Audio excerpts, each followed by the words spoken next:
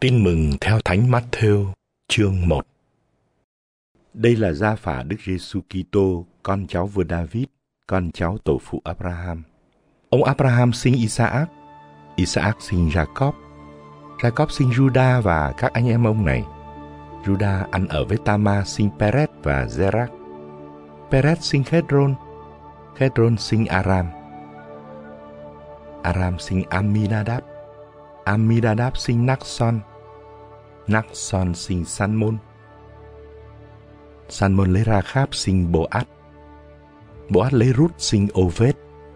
Oved sinh Jesse. Jesse sinh David. Vua David lấy vợ ông Uriah sinh Salomon. Salomon sinh Rơ Kháp Am. Rơ Kháp Am sinh Avijah. Avijah sinh Asa.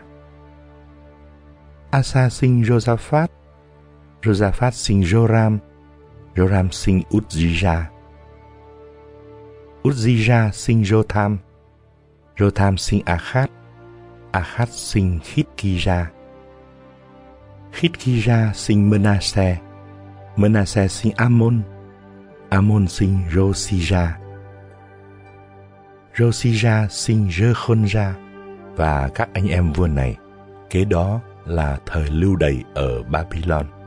Sau thời lưu đày ở Babylon, Rekhonra sinh Santien, Santien sinh Jerubbaven, Jerubbaven sinh Avihud, Avihud sinh Enjakim, Enjakim sinh Azor, Azor sinh Sadok, Sadok sinh Achim, Achim sinh Elihud, Elihud sinh Elaza, Elaza sinh Mathan, Mathan sinh Jacob, Jacob sinh Giuse chồng của bà Maria. Bà là mẹ Đức Giêsu, cũng gọi là Đấng Kitô. Như thế tính chung lại thì từ tổ phụ Abraham đến vua David là 14 đời. Từ vua David đến thời lưu đày ở Babylon là 14 đời. Và từ thời lưu đày ở Babylon đến Đức Kitô cũng là 14 đời. Sau đây là gốc tích Đức Giêsu Kitô, bà Maria mẹ người đã thành hôn với ông Giuse. Nhưng trước khi hai ông bà về chung sống, bà đã có thai do quyền năng Chúa Thánh Thần. Ông Giuse chồng bà là người công chính và không muốn tố giác bà, nên mới định tâm bỏ bà cách kín đáo. Ông đang toàn tính như vậy, thì kìa sứ thần Chúa hiện đến báo mộng cho ông rằng Này ông Giuse, con cháu David, đừng ngại đón bà Maria vợ ông về vì người con bà cưu mang là do quyền năng Chúa Thánh Thần bà sẽ sinh con trai và ông phải đặt tên cho con trẻ là Giêsu vì chính người sẽ cứu dân người khỏi tội lỗi của họ. Tất cả sự việc này đã xảy ra là để ứng nghiệm lời xưa kia Chúa phán qua miệng ngôn sứ. Này đây, trinh nữ sẽ thụ thai và sinh hạ một con trai người ta sẽ gọi tên con trẻ là Emmanuel nghĩa là Thiên Chúa ở cùng chúng ta. Khi tỉnh giấc, ông Giuse làm như sứ thần Chúa dạy và đón vợ về nhà. Ông không ăn ở với bà cho đến khi bà sinh một con trai và ông đặt tên cho con trẻ là Giêsu. Tin mừng theo Thánh Matthew chương 2 Khi Đức Giêsu ra đời tại Bethlehem miền Jude, thời vua Herode trị vì, có mấy nhà chiêm tinh từ phương Đông đến Jerusalem và hỏi Đức vua dân Do Thái mới sinh hiện ở đâu? Chúng tôi đã thấy vì sao của người xuất hiện bên phương Đông, nên chúng tôi đến bái lại người. Nghe tin ấy, vua Herode bối rối và cả thành Jerusalem cũng xôn xao. Nhà vua liền triệu tập tất cả các thượng tế và kinh sư trong dân lặng, rồi họ cho biết đấng Kitô phải sinh ra ở đâu. Họ trả lời: Tại Bethlehem, miền Jude, vì trong sách ngôn sứ có chép rằng phần ngươi ở Bethlehem, miền đất Juda, ngươi đâu phải là thành nhỏ nhất của Juda, vì ngươi là nơi vị lãnh tụ chân dắt Israel dân ta sẽ ra đời. Bấy giờ vua Herode bí mật vời các nhà chiêm tinh đến, hỏi cặn kẽ về ngày giờ ngôi sao đã xuất hiện. Rồi vua phái các vị ấy đi Bethlehem và dặn rằng Xin quý ngài đi dò hỏi tường tận về hài nhi Và khi đã tìm thấy xin báo lại cho tôi Để tôi cũng đến bái lạy người Nghe nhà vua nói thế họ ra đi Bấy giờ ngôi sao họ đã thấy ở phương đông Lại dẫn đường cho họ Đến tận nơi hài nhi ở Mới dừng lại Trông thấy ngôi sao họ mừng rỡ vô cùng Họ vào nhà thấy hài nhi với thân mẫu là bà Maria, liền sấp mình thờ lạy người. Rồi họ mở bảo tráp, lấy vàng, nhũ hương và mộc dược mà dâng tiến. Sau đó, họ được báo mộng là đừng trở lại gặp vua Herode nữa, nên đã đi lối khác mà về xứ mình. Khi các nhà chiêm tinh đã ra về, thì sứ thần Chúa hiện ra báo mộng cho ông Du Xe rằng Này ông, dậy đem hài nhi và mẹ người trốn sang Ai Cập và cứ ở đó cho đến khi tôi báo lại vì vua Herode sắp tìm giết hài nhi đấy. Ông Giuse liền trỗi dậy và đang đêm đưa hài nhi và mẹ người trốn sang Ai Cập. Ông ở đó cho đến khi vua Herode băng hà để ứng nghiệm lời Chúa phán xưa qua miệng ngôn sứ. Ta đã gọi con ta ra khỏi Ai Cập. Bấy giờ vua Herode thấy mình bị các nhà chiêm tinh đánh lừa, thì đùng đùng nổi giận, nên sai người đi giết tất cả các con trẻ ở Bethlehem và toàn vùng lân cận. Từ hai tuổi trở xuống, tính theo ngày tháng, ông đã hỏi cặn kẽ các nhà chiêm tinh.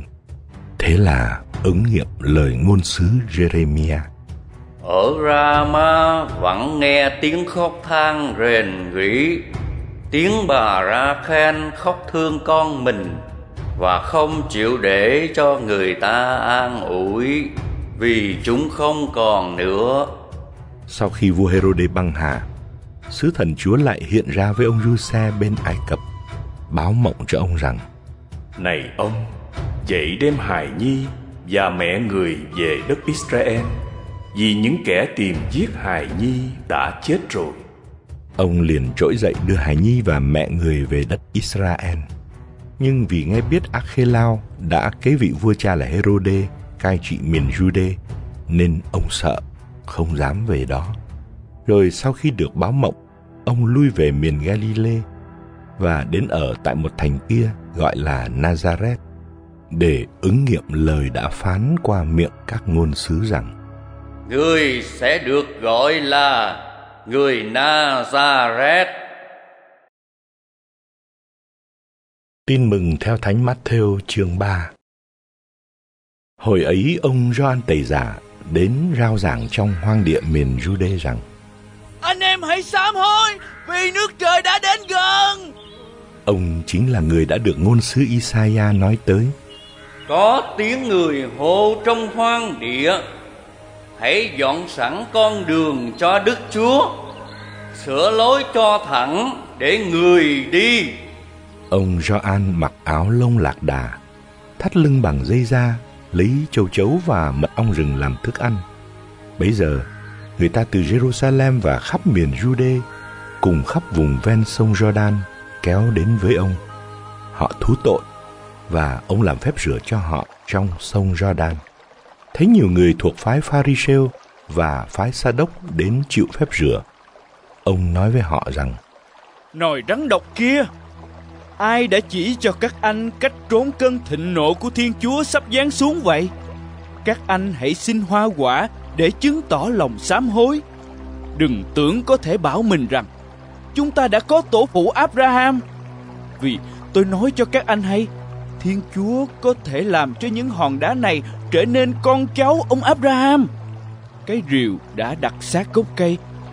Bất cứ cây nào không sinh quả tốt đều bị chặt đi và quăng vào lửa. Tôi, tôi làm phép rửa cho các anh trong nước để dục lòng các anh sám hối. Còn đứng đến sau tôi thì quyền thế hơn tôi. Tôi không đáng sách dép cho người người sẽ làm phép rửa cho các anh trong thánh thần và lửa tay người cầm nia người sẽ rê sạch lúa trong sân. Thóc mẩy thì thu vào khó lắm còn thóc lép thì bỏ vào lửa không hề tắt mà đốt đi. Bấy giờ, Đức Giêsu từ miền Galilee đến sông Jordan gặp ông Gioan để xin ông làm phép rửa cho mình. Nhưng ông một mực can người và nói: Chính tôi mới cần được Ngài làm phép rửa. Thế mà Ngài lại đến với tôi. Nhưng Đức Giêsu trả lời: Bây giờ cứ thế đã. Vì chúng ta nên làm như vậy để giữ trọn đức công chính. Bấy giờ ông Gioan mới chiều theo ý người. Khi Đức Giêsu chịu phép rửa xong, vừa ở dưới nước lên thì các tầng trời mở ra. Người thấy thần khí Thiên Chúa đáp xuống như chim bồ câu và ngự trên người. Và có tiếng từ trời phán: Đây là con yêu dấu của ta. Ta hài lòng vì người. Tin mừng theo Thánh Matthew, chương 4. Bấy giờ Đức Giêsu được thần khí dẫn vào hoang địa để chịu quỷ cám dỗ. Người ăn chay ròng rã 40 đêm ngày và sau đó người thấy đói.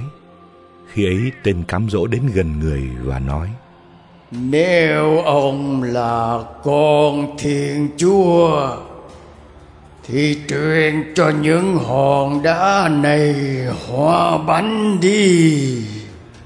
Nhưng người đáp: Đã có lời chép rằng người ta sống không chỉ nhờ cơm bánh nhưng còn nhờ mọi lời miệng Thiên Chúa phán ra. Sau đó quỷ đem người đến thành thánh và đặt người trên nóc đền thờ, rồi nói với người: Nếu ông là con Thiên Chúa thì gieo mình xuống đi vì đã có lời chép rằng Thiên Chúa sẽ truyền cho thiên sứ lo cho bạn và thiên sứ sẽ tay đỡ tay nâng cho bạn khỏi vấp chân vào đá. Đức Giêsu đáp: Nhưng cũng đã có lời chép rằng Ngươi chớ thử thách Đức Chúa là Thiên Chúa của ngươi. Quỷ lại đem người lên một ngọn núi rất cao và chỉ cho người thấy tất cả các nước thế gian và vinh hoa lợi lộc của các nước ấy và bảo rằng Tôi sẽ cho ông tất cả những thứ đó nếu ông sắp mình bái lạy tôi Đức Giêsu liền nói Sa tăng kia, xéo đi. Vì đã có lời chép rằng Ngươi phải bái lạy Đức Chúa là Thiên Chúa của ngươi và phải thờ phượng một mình người mà thôi. Thế rồi quỷ bỏ người mà đi và có các sứ thần tiến đến hầu hạ người. Khi Đức Giêsu nghe tin ông Gioan đã bị nộp, người lánh qua miền Galilee, rồi người bỏ Nazareth đến ở Capharnaum, một thành ven biển hồ Galilee thuộc địa hạt Zevulun và Naphtali, để ứng nghiệm lời ngôn sứ Isaiah nói: Này đất Zevulun và đất Naphtali, hỡi con đường ven biển và vùng tả ngạn sông Jordan, hỡi Galile miền đất của dân ngoại, đoàn dân đang ngồi trong cảnh tối tăm đã thấy một ánh sáng huy hoàng những kẻ đang ngồi trong vùng bóng tối của tử thần nay được ánh sáng bừng lên chiếu rọi Từ lúc đó, Đức Giêsu bắt đầu rao giảng và nói rằng: Anh em hãy sám hối, vì nước trời đã đến gần. Người đang đi dọc theo biển hồ Galilee thì thấy hai anh em kia là ông Simon cũng gọi là Phêrô và người anh là ông Andre đang quăng chài xuống biển vì các ông làm nghề đánh cá. Người bảo các ông: Các anh hãy theo tôi. Tôi sẽ làm cho các anh thành những kẻ lưới người như lưới cá. Lập tức hai ông bỏ chài lưới mà đi theo người. Đi một quãng nữa, người thấy hai anh em khác con ông Zebede là ông Jacobe và người em là ông Gioan. Hai ông này đang cùng với cha là ông GBD vá lưới ở trong thuyền. Người gọi các ông. Lập tức các ông bỏ thuyền bỏ cha lại mà theo người. Thế rồi Đức Giêsu đi khắp miền Galilee, giảng dạy trong các hội đường, rao giảng tin mừng nước trời và chữa hết mọi kẻ bệnh hoạn tật nguyền trong dân. Danh tiếng người đồn ra khắp xứ Syria. Thiên hạ đem đến cho người mọi kẻ ốm đau, mắc đủ thứ bệnh hoạn tật nguyền, những kẻ bị quỷ ám, kinh phong, bại liệt, và người đã chữa họ. Từ miền Galilee vùng thập tỉnh thành Jerusalem, miền Jude và vùng bên kia sông Jordan, dân chúng lũ lượt kéo đến đi theo người. Tin mừng theo Thánh Matthew chương 5 Thấy đám đông, Đức Giêsu lên núi, người ngồi xuống, các môn đệ đến gần bên. Người mở miệng dạy họ rằng Phúc thay ai có tâm hồn nghèo khó, vì nước trời là của họ. Phúc thay ai hiền lành, vì họ sẽ được đất hứa làm gia nghiệp. Phúc thay ai sầu khổ, vì họ sẽ được Thiên Chúa ủi an. Phúc thay ai khát khao nên người công chính, vì họ sẽ được Thiên Chúa cho thỏa lòng. Phúc thay ai xót thương người, vì họ sẽ được Thiên Chúa xót thương. Phúc thay ai có tâm hồn trong sạch, vì họ sẽ được nhìn thấy Thiên Chúa. Phúc thay ai xây dựng hòa bình, vì họ sẽ được gọi là con Thiên Chúa. Phúc thay ai bị bách hại vì sống công chính, vì nước trời là của họ. Phúc thay anh em khi vì thầy mà bị người ta sỉ giả bất hại và vu khống đủ điều xấu xa. Anh em hãy vui mừng hớn hở, vì phần thưởng dành cho anh em ở trên trời thật lớn lao. Quả vậy, các ngôn sứ là những người đi trước anh em cũng bị người ta bách hại như thế. Chính anh em là muối cho đời. Nhưng muối mà nhạt đi thì lấy gì muối nó cho mặn lại. Nó đã thành vô dụng thì chỉ còn việc quăng ra ngoài cho người ta chà đạp thôi. Chính anh em là ánh sáng cho trần gian. Một thành xây trên núi không tài nào che giấu được. Cũng chẳng có ai thắp đèn rồi lại để dưới cái thùng.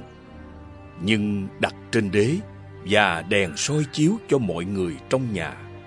Cũng vậy, ánh sáng của anh em phải chiếu giải trước mặt thiên hạ để họ thấy những công việc tốt đẹp anh em làm mà tôn vinh cha của anh em đấng ngự trên trời.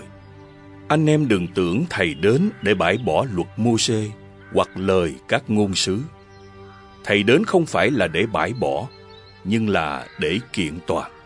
Vì thầy bảo thật anh em, trước khi trời đất qua đi, thì một chấm một phết trong lề luật cũng sẽ không qua đi, cho đến khi mọi sự được hoàn thành. Vậy ai bãi bỏ dù chỉ là một trong những điều răng nhỏ nhất ấy và dạy người ta làm như thế, thì sẽ bị gọi là kẻ nhỏ nhất trong nước trời. Còn ai tuân hành và dạy làm như thế, thì sẽ được gọi là lớn trong nước trời. Vậy, thầy bảo cho anh em biết, nếu anh em không ăn ở công chính hơn các kinh sư và người pharisêu thì sẽ chẳng được vào nước trời. Anh em đã nghe luật dạy người xưa rằng, chớ giết người. Ai giết người thì đáng bị đưa ra tòa. Còn thầy, thầy bảo cho anh em biết, ai giận anh em mình thì đáng bị đưa ra tòa. Ai mắng anh em mình là đồ ngốc thì đáng bị đưa ra trước thượng hội đồng. Còn ai chửi anh em mình là quân phản đạo thì đáng bị lửa hỏa ngục thiêu đốt.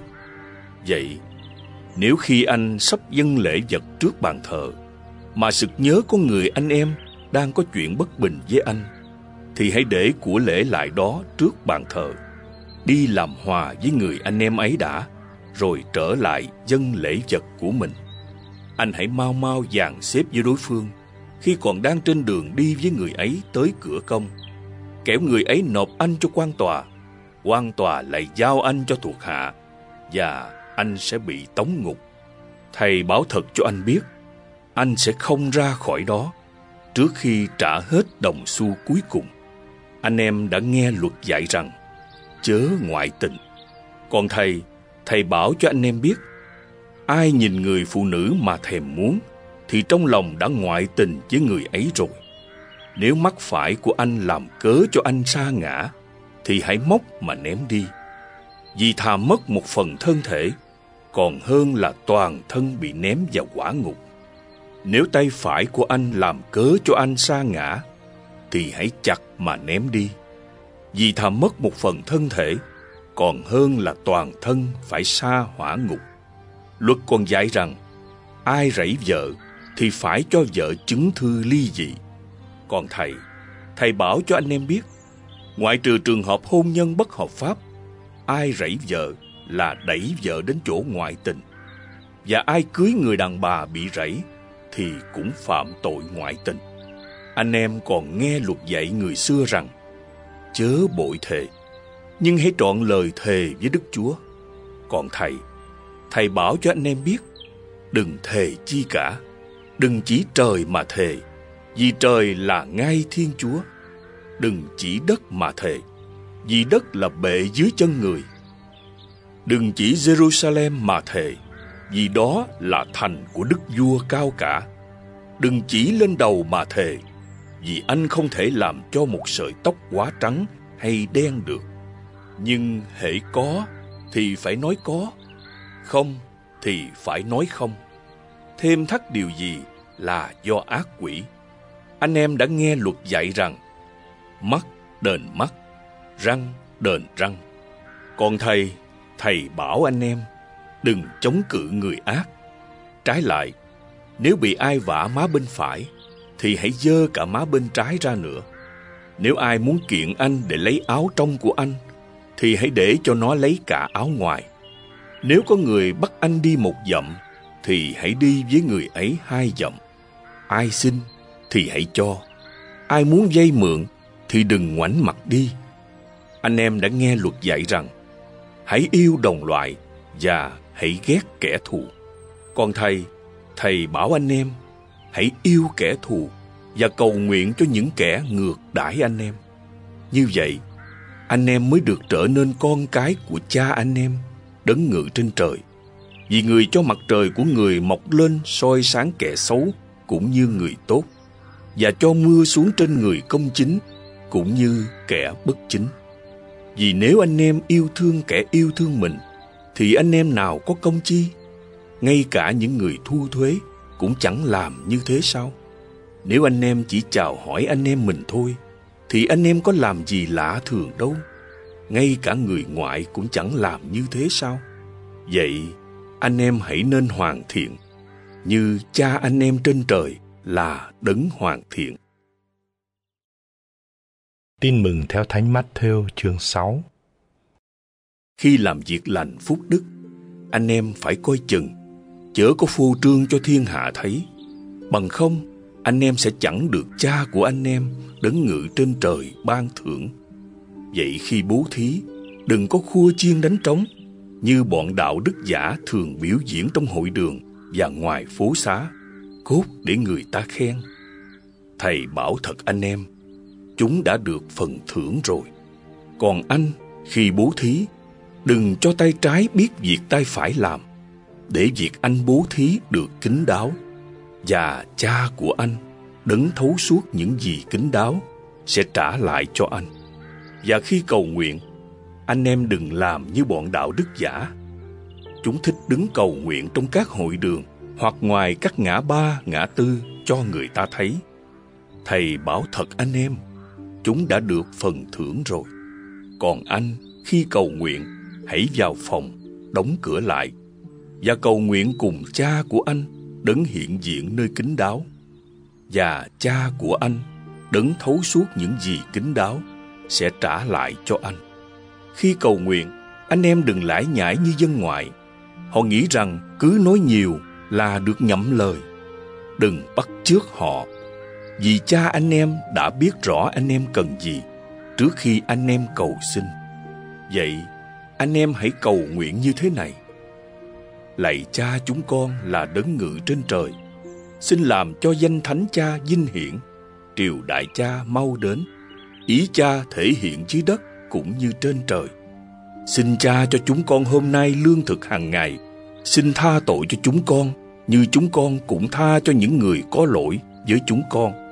Xin đừng để chúng con xa trước cám dỗ, nhưng cứu chúng con cho khỏi sự dữ. Thật vậy, nếu anh em tha lỗi cho người ta, thì cha anh em trên trời cũng sẽ tha thứ cho anh em. Nhưng nếu anh em không tha thứ cho người ta, thì cha anh em cũng sẽ không tha lỗi cho anh em. Rồi khi ăn chay, anh em chớ làm bộ rầu rĩ như bọn đạo đức giả. Chúng làm cho ra vẻ thiểu não để thiên hạ thấy là chúng ăn chay. Thầy bảo thật anh em, chúng đã được phần thưởng rồi. Còn anh, khi ăn chay, nên rửa mặt cho sạch, chải đầu cho thơm, để không ai thấy là anh ăn chay ngoại trừ cha của anh, đấng hiện diện nơi kính đáo. Và cha của anh, đấng thấu suốt những gì kính đáo, sẽ trả lại cho anh. Anh em đừng tích trữ cho mình những kho tàng dưới đất, nơi mối mọt làm hư nát và kẻ trộm khoét vách lấy đi. Nhưng hãy tích trữ cho mình những kho tàng trên trời, nơi mối mọt không làm hư nát và kẻ trộm không khoét vách lấy đi. Vì kho tàng của anh ở đâu, thì lòng anh ở đó. Đèn của thân thể là con mắt. Vậy nếu mắt anh sáng, thì toàn thân anh sẽ sáng. Còn nếu mắt anh xấu, thì toàn thân anh sẽ tối. Vậy nếu ánh sáng nơi anh lại thành bóng tối, thì tối biết chừng nào.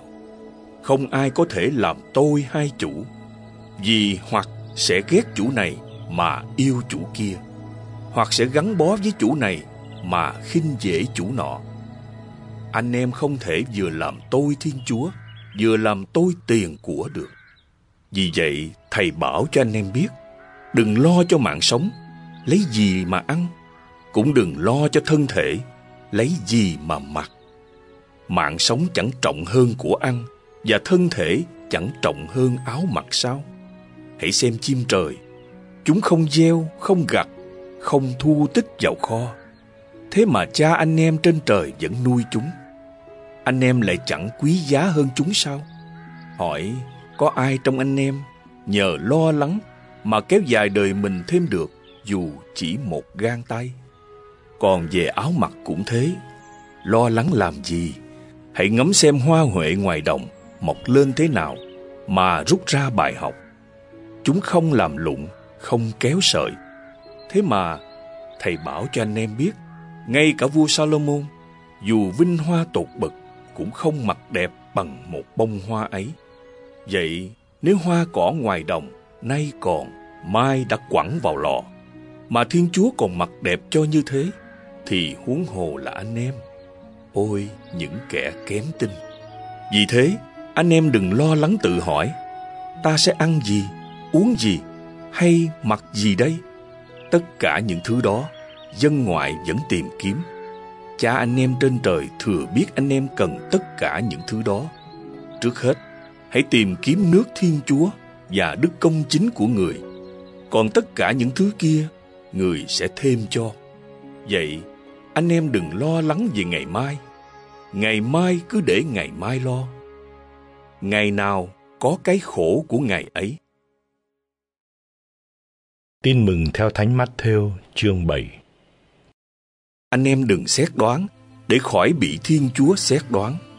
Vì anh em xét đoán thế nào, thì anh em cũng sẽ bị Thiên Chúa xét đoán như vậy.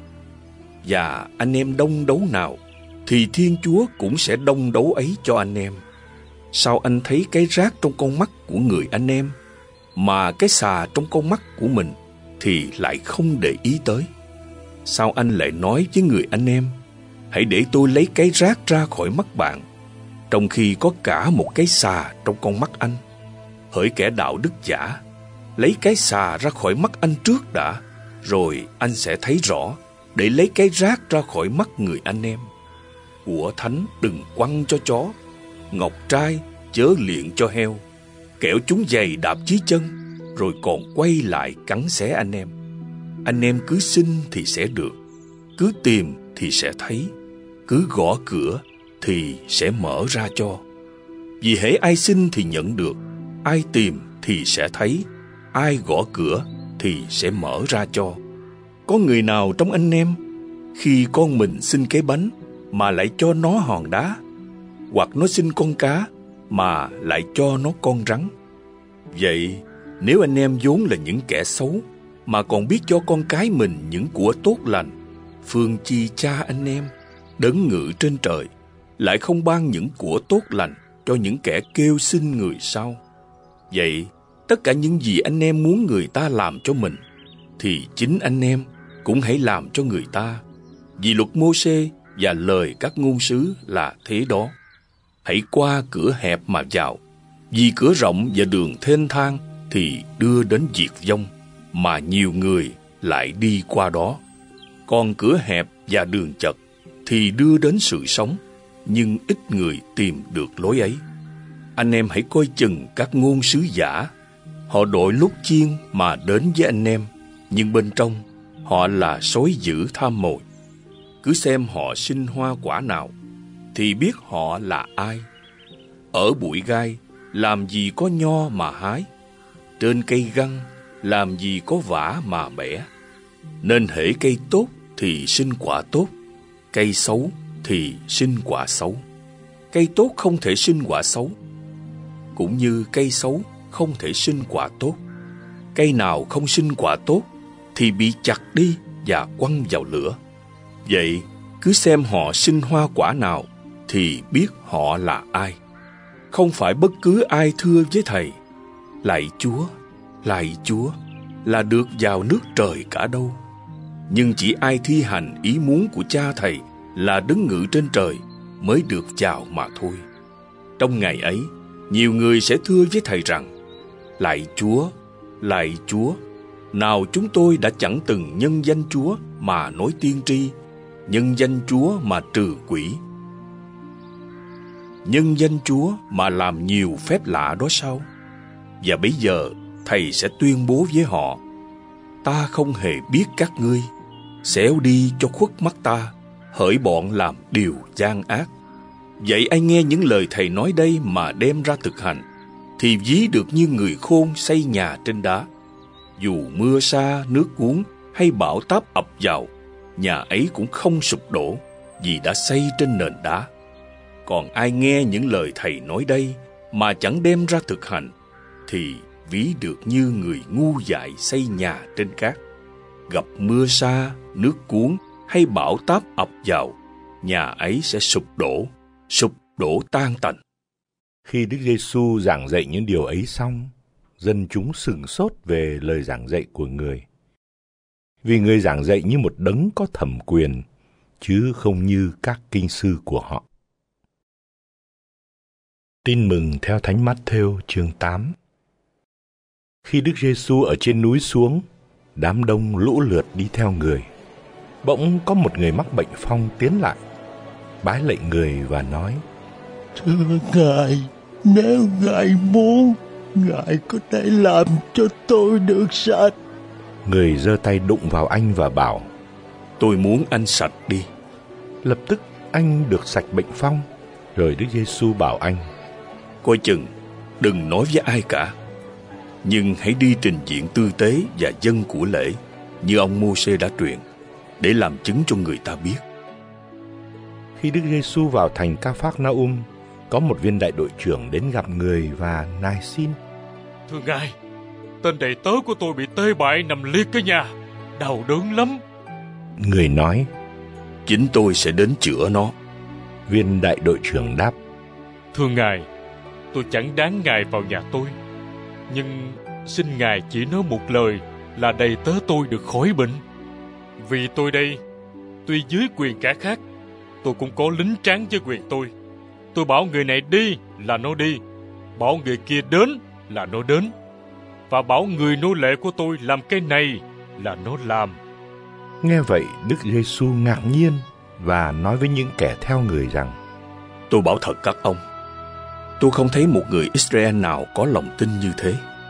Tôi nói cho các ông hay, từ phương Đông phương Tây, nhiều người sẽ đến dự tiệc cùng các tổ phụ Abraham, Isaac và Jacob trong nước trời. Nhưng con cái nước trời thì sẽ bị quăng ra chỗ tối tăm bên ngoài. Ở đó người ta sẽ phải khóc lóc nghiến răng. Rồi Đức Giêsu nói với viên đại đội trưởng rằng: Ông cứ về đi. Ông tin thế nào thì được như vậy. Và ngay giờ đó người đầy tớ được khỏi bệnh. Đức Giêsu đến nhà ông Phêrô, thấy bà mẹ vợ ông đang nằm liệt và lên cơn sốt. Người đụng vào tay bà, cơn sốt dứt ngay và bà trỗi dậy phục vụ người. Chiều đến, người ta đem nhiều kẻ bị quỷ ám tới gặp Đức Giêsu. Người nói một lời là trừ được các thần dữ và người chữa lành mọi kẻ ốm đau để ứng nghiệm lời ngôn sứ Isaiah. Người đã mang lấy các tật nguyền của ta và gánh lấy các bệnh hoạn của ta. Thấy xung quanh có đám đông, Đức Giêsu ra lệnh sang bờ bên kia. Một kinh sư tiến đến thưa người rằng: Thưa thầy, thầy đi đâu, tôi cũng xin đi theo. Đức Giêsu trả lời: Con trồn có hang, chim trời có tổ, nhưng con người không có chỗ tựa đầu. Một môn đệ khác thưa với người: Thưa ngài, xin cho phép con về chôn cất cha con trước đã. Đức Giêsu bảo: Anh hãy đi theo tôi, cứ để kẻ chết chôn kẻ chết của họ. Đức Giêsu xuống thuyền, các môn đệ đi theo người. Bỗng nhiên biển động mạnh khiến sóng ập vào thuyền, nhưng người vẫn ngủ. Các ông lại gần đánh thức người và nói: Thưa ngài, xin cứu chúng con, chúng con chết mất. Đức Giêsu nói: Sao nhát thế? Hỡi những người kém lòng tin. Rồi người trỗi dậy ngâm đe gió và biển. Biển liền lặng như tờ. Người ta ngạc nhiên và nói: Ông này là người thế nào mà cả đến gió và biển cũng tuân lệnh? Khi Đức Giêsu sang bờ bên kia và đến miền Gadara, thì có hai người bị quỷ ám từ trong đám mồ mả ra đón người. Chúng rất dữ tợn đến nỗi không ai dám qua lại lối ấy. Chúng la lên rằng: Hỡi con thiên chúa, chuyện chúng tôi hàng gì đến đâu? Hàng gì? Và thấy đâu mà ông đã đến đây làm khổ chúng tôi sao? Khi ấy ở đằng xa có một bầy heo rất đông đang ăn. Bọn quỷ nài xin người rằng: Nếu ông đuổi chúng tôi thì thịt phải chúng tôi gấp vào bầy heo kia. Người bảo: Đi đi. Chúng liền ra khỏi hai người đó và nhập vào bầy heo.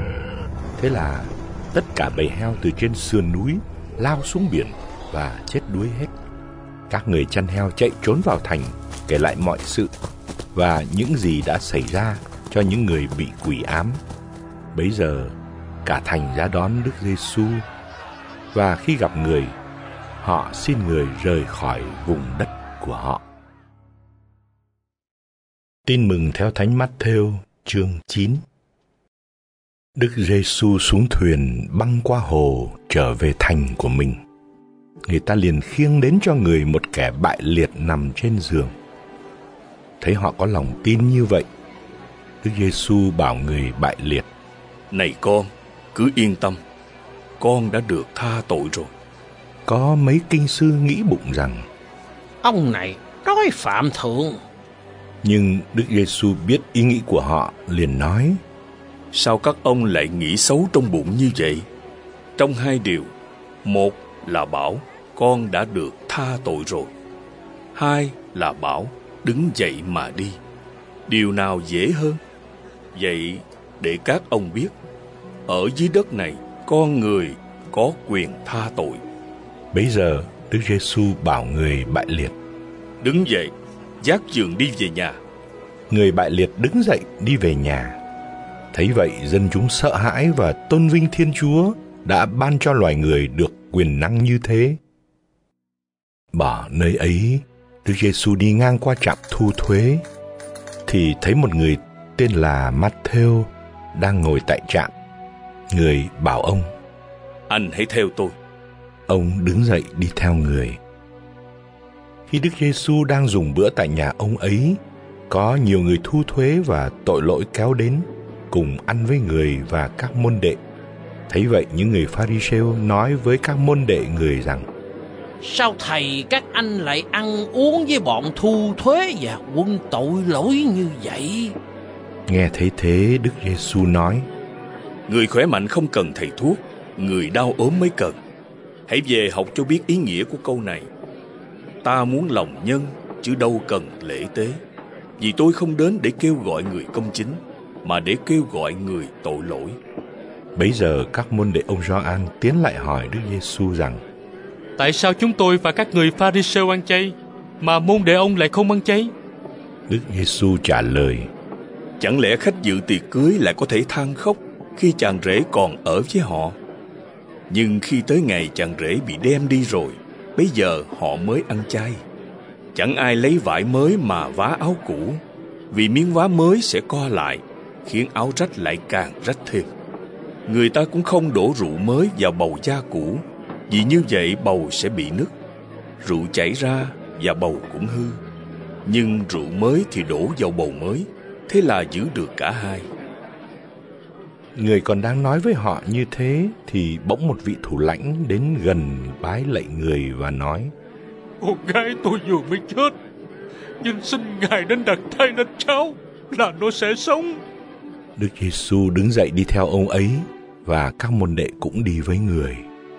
Bỗng một người đàn bà bị rong huyết đã 12 năm tiến đến phía sau người và sờ vào tua áo của người vì bà nghĩ bụng Tôi chỉ cần sờ được vào áo của người thôi là sẽ được cứu. Đức Giêsu quay lại thấy bà thì nói: Này con, cứ yên tâm, lòng tin của con đã cứu chữa con. Và ngay từ giờ ấy, bà được cứu chữa.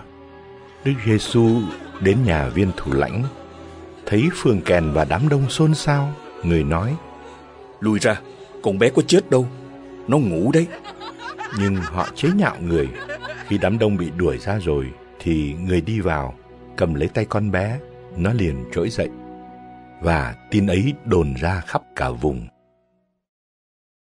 Đang khi Đức Giêsu ra khỏi nơi đó, thì có hai người mù đi theo kêu lên rằng: Lạy con vua David, xin thương xót chúng tôi. Khi Đức Giêsu về tới nhà, thì hai người mù ấy tiến lại gần. Người nói với họ: Các anh có tin là tôi làm được điều ấy không? Họ đáp: Thưa ngài, chúng tôi tin. Bấy giờ, người sờ vào mắt họ và nói: Các anh tin thế nào thì được như vậy. Mắt họ liền mở ra. Người nghiêm giọng bảo họ: Coi chừng đừng cho ai biết. Nhưng vừa ra khỏi đó, họ đã nói về người trong khắp cả vùng. Họ vừa đi ra thì người ta đem đến cho Đức Giêsu một người câm bị quỷ ám. Khi quỷ bị trục xuất rồi, thì người câm nói được. Dân chúng kinh ngạc nói rằng: Ở Israel chưa hề thấy thế bao giờ. Nhưng người Pharisêu lại bảo: Ông ấy vừa thấy quỷ dương mà trừ quỷ. Đức Giêsu đi khắp các thành thị, làng mạc, giảng dạy trong các hội đường, rao giảng tin mừng nước trời và chữa hết các bệnh hoạn tật nguyền. Đức Giêsu thấy đám đông thì chạnh lòng thương vì họ lầm than vất vưởng như bầy chiên không người chăn dắt. Bấy giờ, người nói với môn đệ rằng: Lúa chín đầy đồng mà thợ gặt lại ít. Vậy anh em hãy xin chủ mùa gặt sai thợ ra gặt lúa về. Tin mừng theo Thánh mắt theo chương 10 Rồi Đức Giêsu gọi 12 môn đệ lại để ban cho các ông quyền trên các thần ô uế để các ông trừ chúng và chữa hết các bệnh hoạn tật nguyền. Sau đây là tên của 12 tông đồ. Đứng đầu là ông Simon, cũng gọi là Phêrô, rồi đến ông Andre anh của ông. Sau đó là ông Jacobe con ông Zebede và ông Gioan em của ông. Ông Philippe và ông Bartolomeo, ông Thomas và ông Matthew người thu thuế. Ông Jacobe con ông Anphe và ông Tadeo. Ông Simon thuộc nhóm quá khích và ông Judas Iscariot là chính kẻ nộp người. Đức Giêsu sai 12 ông ấy đi và chỉ thị rằng Anh em đừng đi về phía các dân ngoại, cũng đừng vào thành nào của dân Samari. Tốt hơn là hãy đến với các con chiên lạc nhà Israel. Dọc đường hãy rao giảng rằng nước trời đã đến gần. Anh em hãy chữa lành người đau yếu, làm cho kẻ chết sống lại, cho người mắc bệnh phong được sạch và khử trừ ma quỷ. Anh em đã được cho không thì cũng phải cho không như vậy. Đừng kiếm vàng bạc hay tiền chắc lưng. Đi đường đừng mang bao bị, đừng mặc hai áo, đừng đi dép hay cầm gậy. Vì thợ thì đáng được nuôi ăn. Khi anh em vào bất cứ thành nào hay làng nào, thì hãy dò hỏi xem ở đó ai là người xứng đáng và hãy ở lại đó cho đến lúc ra đi. Vào nhà nào, anh em hãy chào chúc bình an cho nhà ấy. Nếu nhà ấy xứng đáng, thì bình an của anh em sẽ đến với họ.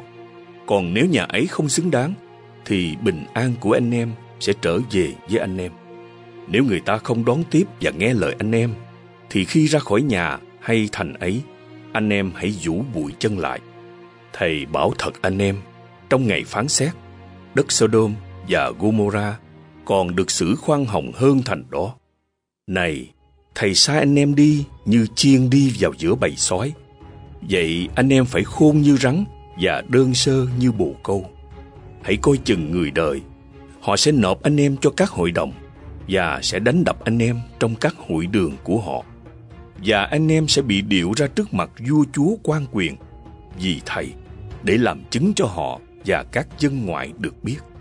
Khi người ta nộp anh em, thì anh em đừng lo phải nói làm sao hay phải nói gì. Vì trong giờ đó, Thiên Chúa sẽ cho anh em biết phải nói gì. Thật vậy, không phải chính anh em nói, mà là thần khí của cha anh em nói trong anh em. Anh sẽ nộp em, em sẽ nộp anh cho người ta giết. Cha sẽ nộp con, con cái sẽ đứng lên chống lại cha mẹ và làm cho cha mẹ phải chết. Vì danh thầy, anh em sẽ bị mọi người thù ghét.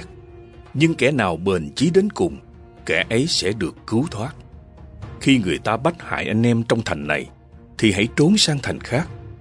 Thầy bảo thật anh em, anh em chưa đi hết các thành của Israel, thì con người đã đến. Trò không hơn thầy, tớ không hơn chủ. Trò được như thầy, tớ được như chủ, đã là khá lắm rồi.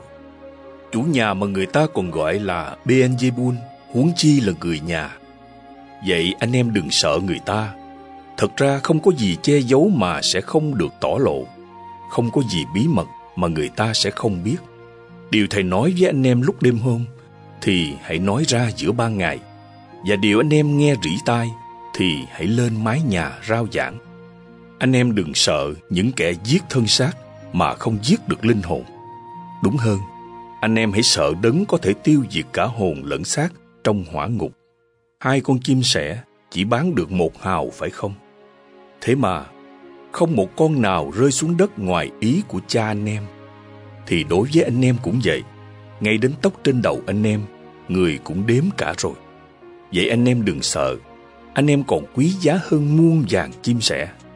Phàm ai tuyên bố nhận thầy trước mặt thiên hạ, thì thầy cũng sẽ tuyên bố nhận người ấy trước mặt cha thầy, đấng ngự trên trời. Còn ai chối thầy trước mặt thiên hạ, thì thầy cũng sẽ chối người ấy trước mặt cha thầy, đấng ngự trên trời. Anh em đừng tưởng thầy đến đem bình an cho trái đất. Thầy đến không phải để đem bình an, nhưng để đem gươm giáo. Quả vậy, thầy đến để gây chia rẽ giữa con trai với cha, giữa con gái với mẹ, giữa con dâu với mẹ chồng. Kẻ thù của mình chính là người nhà. Ai yêu cha yêu mẹ hơn thầy thì không xứng với thầy. Ai yêu con trai con gái hơn thầy thì không xứng với thầy. Ai không giác thập giá mình mà theo thầy thì không xứng với thầy. Ai giữ lấy mạng sống mình thì sẽ mất. Còn ai liều mất mạng sống mình vì thầy thì sẽ tìm thấy được. Ai đón tiếp anh em là đón tiếp thầy. Và ai đón tiếp thầy là đón tiếp đấng đã sai thầy. Ai đón tiếp một ngôn sứ vì người ấy là ngôn sứ thì sẽ được lãnh phần thưởng dành cho bậc ngôn sứ. ai đón tiếp một người công chính, vì người ấy là người công chính, thì sẽ được lãnh phần thưởng dành cho bậc công chính. Và ai cho một trong những kẻ bé nhỏ này uống, dù chỉ một chén nước lạ thôi, vì kẻ ấy là môn đệ của thầy, thì thầy bảo thật anh em, người đó sẽ không mất phần thưởng đâu. Tin mừng theo Thánh mát theo chương 11 Ra chỉ thị cho 12 môn đệ xong, Đức Giêsu rời chỗ đó, đi dạy dỗ và rao giảng trong các thành thị trong miền. Ông Gioan lúc ấy đang ngồi tù, nghe biết những việc Đức Kitô làm, liền sai môn đệ đến hỏi người rằng: Thưa thầy, thầy có thật là đấng phải đến không? Hay là chúng tôi còn phải đợi ai khác? Đức Giêsu trả lời: Các anh cứ về thuật lại trong Gioan những điều mắt thấy tai nghe. Người mù xem thấy, kẻ què được đi, người phong được sạch, kẻ điếc được nghe, người chết sống lại, kẻ nghèo được nghe tin mừng, và phúc thay người nào không dấp ngã vì tôi. Họ đi rồi, Đức Giêsu bắt đầu nói với đám đông về ông Gioan rằng: Anh em ra xem gì trong hoang địa? Một cây sậy phất phơ trước gió chăng? Thế thì anh em ra xem gì? Một người mặc gấm dốc lụa là chăng? Kìa, những kẻ mặc gấm dốc lụa là thì ở trong cung điện nhà vua. Thế thì anh em ra xem gì? Một vị ngôn sứ chăng? Đúng thế đó. Mà tôi nói cho anh em biết, đây còn hơn cả ngôn sứ nữa. Chính ông là người Kinh Thánh đã nói tới khi chép rằng Này, ta sai sứ giả của ta đi trước mặt con, người sẽ dọn đường cho con đến. Tôi nói thật với anh em, trong số phàm nhân đã lọt lòng mẹ, chưa từng có ai cao trọng hơn ông Gioan Tẩy Giả. Tuy nhiên, kẻ nhỏ nhất trong nước trời còn cao trọng hơn ông. Từ thời ông Gioan Tẩy Giảng cho đến bây giờ, nước trời phải đương đầu với sức mạnh. Ai mạnh sức thì chiếm được. Cho đến ông Gioan, tất cả các ngôn sứ cũng như lề luật đều đã nói tiên tri. Và nếu anh em chịu tin lời tôi, thì ông Gioan chính là Elia, người phải đến. Ai có tai thì nghe. Tôi phải ví thế hệ này với ai? Họ giống như lũ trẻ ngồi ngoài chợ gọi lũ trẻ khác và nói Tụi tôi thổi sáo cho các anh mà các anh không nhảy múa. Tụi tôi hát bài đưa đám mà các anh không đấm ngực khóc than. Thật vậy, ông Gioan đến, không ăn, không uống, thì thiên hạ bảo ông ta bị quỷ ám. Con người đến, cũng ăn cũng uống như ai, thì thiên hạ lại bảo đây là tai ăn nhậu, bạn bè với quân thu thuế và phường tội lỗi. Nhưng đức khôn ngoan được chứng minh bằng hành động. Bấy giờ người bắt đầu của trách các thành đã chứng kiến phần lớn các phép lạ người làm mà không sám hối. Khốn cho ngươi, hỡi Khoradin, khốn cho ngươi, hỡi Bethsaida. Vì nếu các phép lạ đã làm nơi các ngươi mà được làm tại Thia và Sidon, thì họ đã mặc áo vải thô, rắc tro lên đầu tỏ lòng sám hối. Vì thế, ta nói cho các ngươi hay, đến ngày phán xét, thành Tia và thành Sidon còn được xử khoan hồng hơn các ngươi. Còn ngươi nữa, hỡi Ca Phát Nơ Um, ngươi tưởng sẽ được nâng lên đến tận trời ư? Ngươi sẽ phải nhào xuống tận âm phủ. Vì nếu các phép lạ đã làm nơi ngươi mà được làm tại Sodom, thì thành ấy đã tồn tại cho đến ngày nay. Vì thế, ta nói cho các ngươi hay, đến ngày phán xét, đất Sodom còn được xử khoan hồng hơn các ngươi. Vào lúc ấy, Đức Giêsu cất tiếng nói: Lạy Cha là Chúa tể trời đất, con xin ngợi khen Cha, vì Cha đã giấu không cho bậc khôn ngoan thông thái biết những điều này, nhưng lại mặc khải cho những người bé mọn. Dân, lại Cha, vì đó là điều đẹp ý Cha. Cha tôi đã giao phó mọi sự cho tôi, và không ai biết rõ người con trừ Chúa Cha cũng như không ai biết rõ Chúa Cha trừ người con và kẻ mà người con muốn mặc khải cho. Tất cả những ai đang vất vả mang gánh nặng nề, hãy đến cùng tôi. Tôi sẽ cho nghỉ ngơi bồi dưỡng. Anh em hãy mang lấy ách của tôi và hãy học với tôi vì tôi có lòng hiền hậu và khiêm nhường. Tâm hồn anh em sẽ được nghỉ ngơi bồi dưỡng, vì ách tôi êm ái và gánh tôi nhẹ nhàng.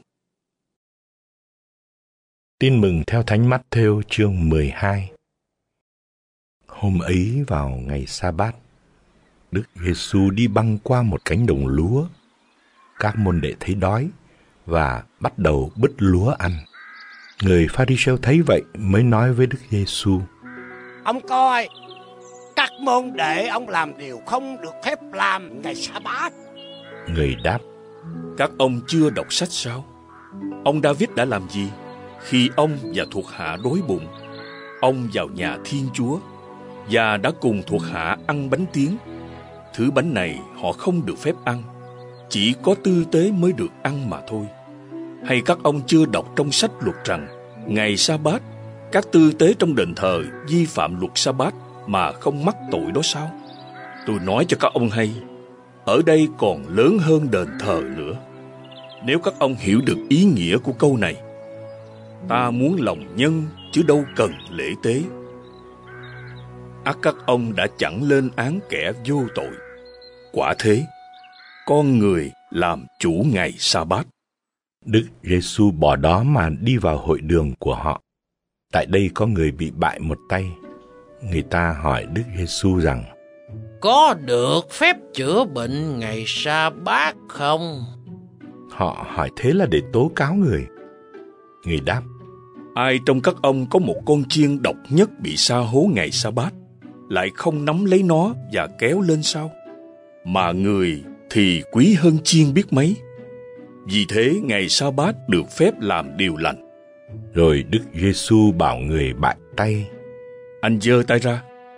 Người ấy giơ ra và tay liền trở lại bình thường, lành mạnh như tay kia. Ra khỏi đó, nhóm Pharisêu bàn bạc để tìm cách giết Đức Giêsu. Biết vậy, Đức Giêsu lánh khỏi nơi đó. Dân chúng theo người đông đảo và người chữa lành hết. Người còn cấm họ không được tiết lộ người là ai. Như thế là để ứng nghiệm lời ngôn sứ Isaiah đã nói. Đây là người tôi tớ ta đã tuyển chọn. Đây là người ta yêu dấu, ta hài lòng về người. Ta cho thần khí ta ngự trên người. Người sẽ loan báo công lý trước muôn dân Người sẽ không cãi vã, Không kêu to. Chẳng ai nghe thấy Người lên tiếng giữa phố phường. Cây lao bị dập, Người không đành bẻ gãy. Tim đèn leo lét, Chẳng nỡ tắt đi. Cho đến khi người đưa công lý đến toàn thắng Và muôn dân đặt niềm hy vọng nơi danh người. Bấy giờ họ đem đến cho Đức Giêsu một người bị quỷ ám, vừa mù lại vừa câm. Người chữa anh ta khiến anh nói và thấy được. Tất cả dân chúng đều sừng sốt và nói: Ông này chẳng phải là con vua David sao? Nghe vậy những người Pharisêu nói rằng: Ông này trừ được quỷ chỉ là nhờ dựa thế quỷ dương Beelzebul. Biết ý nghĩ của họ, Đức Giêsu nói: Bất cứ nước nào tự chia rẽ thì sẽ điêu tàn. Bất cứ thành nào hay nhà nào tự chia rẽ thì sẽ không tồn tại. Nếu Satan trừ Satan thì Satan tự chia rẽ. Nước nó tồn tại sao được? Nếu tôi dựa thế Beelzebul mà trừ quỷ thì đệ tử các ông dựa thế ai mà trừ? Bởi vậy, chính họ sẽ xét xử các ông. Còn nếu tôi dựa vào thần khí của Thiên Chúa mà trừ quỷ, thì quả là triều đại Thiên Chúa đã đến giữa các ông.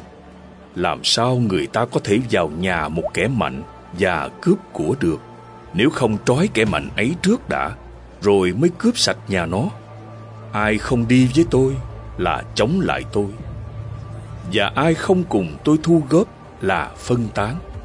Vì thế, tôi nói cho các ông hay, mọi tội kể cả tội nói phạm thường cũng sẽ được tha cho loài người chứ tội nói phạm đến thần khí sẽ chẳng được tha ai nói phạm đến con người thì được tha nhưng ai nói phạm đến thánh thần sẽ chẳng được tha cả đời này lẫn đời sau. Cây mà tốt thì quả cũng tốt, cây mà sâu thì quả cũng sâu. Vì xem quả thì biết cây. Loài rắn độc kia xấu như các người thì làm sao nói điều tốt được. Vì lòng có đầy, miệng mới nói ra. Người tốt thì rút cái tốt từ kho tàng tốt của mình. Kẻ xấu thì rút cái xấu từ kho tàng xấu của mình.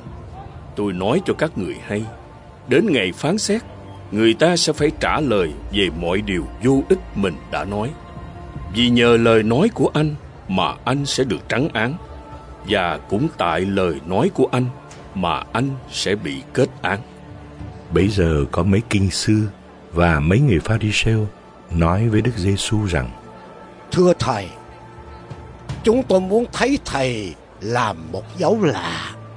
Người đáp: Thế hệ gian ác và ngoại tình này đòi dấu lạ.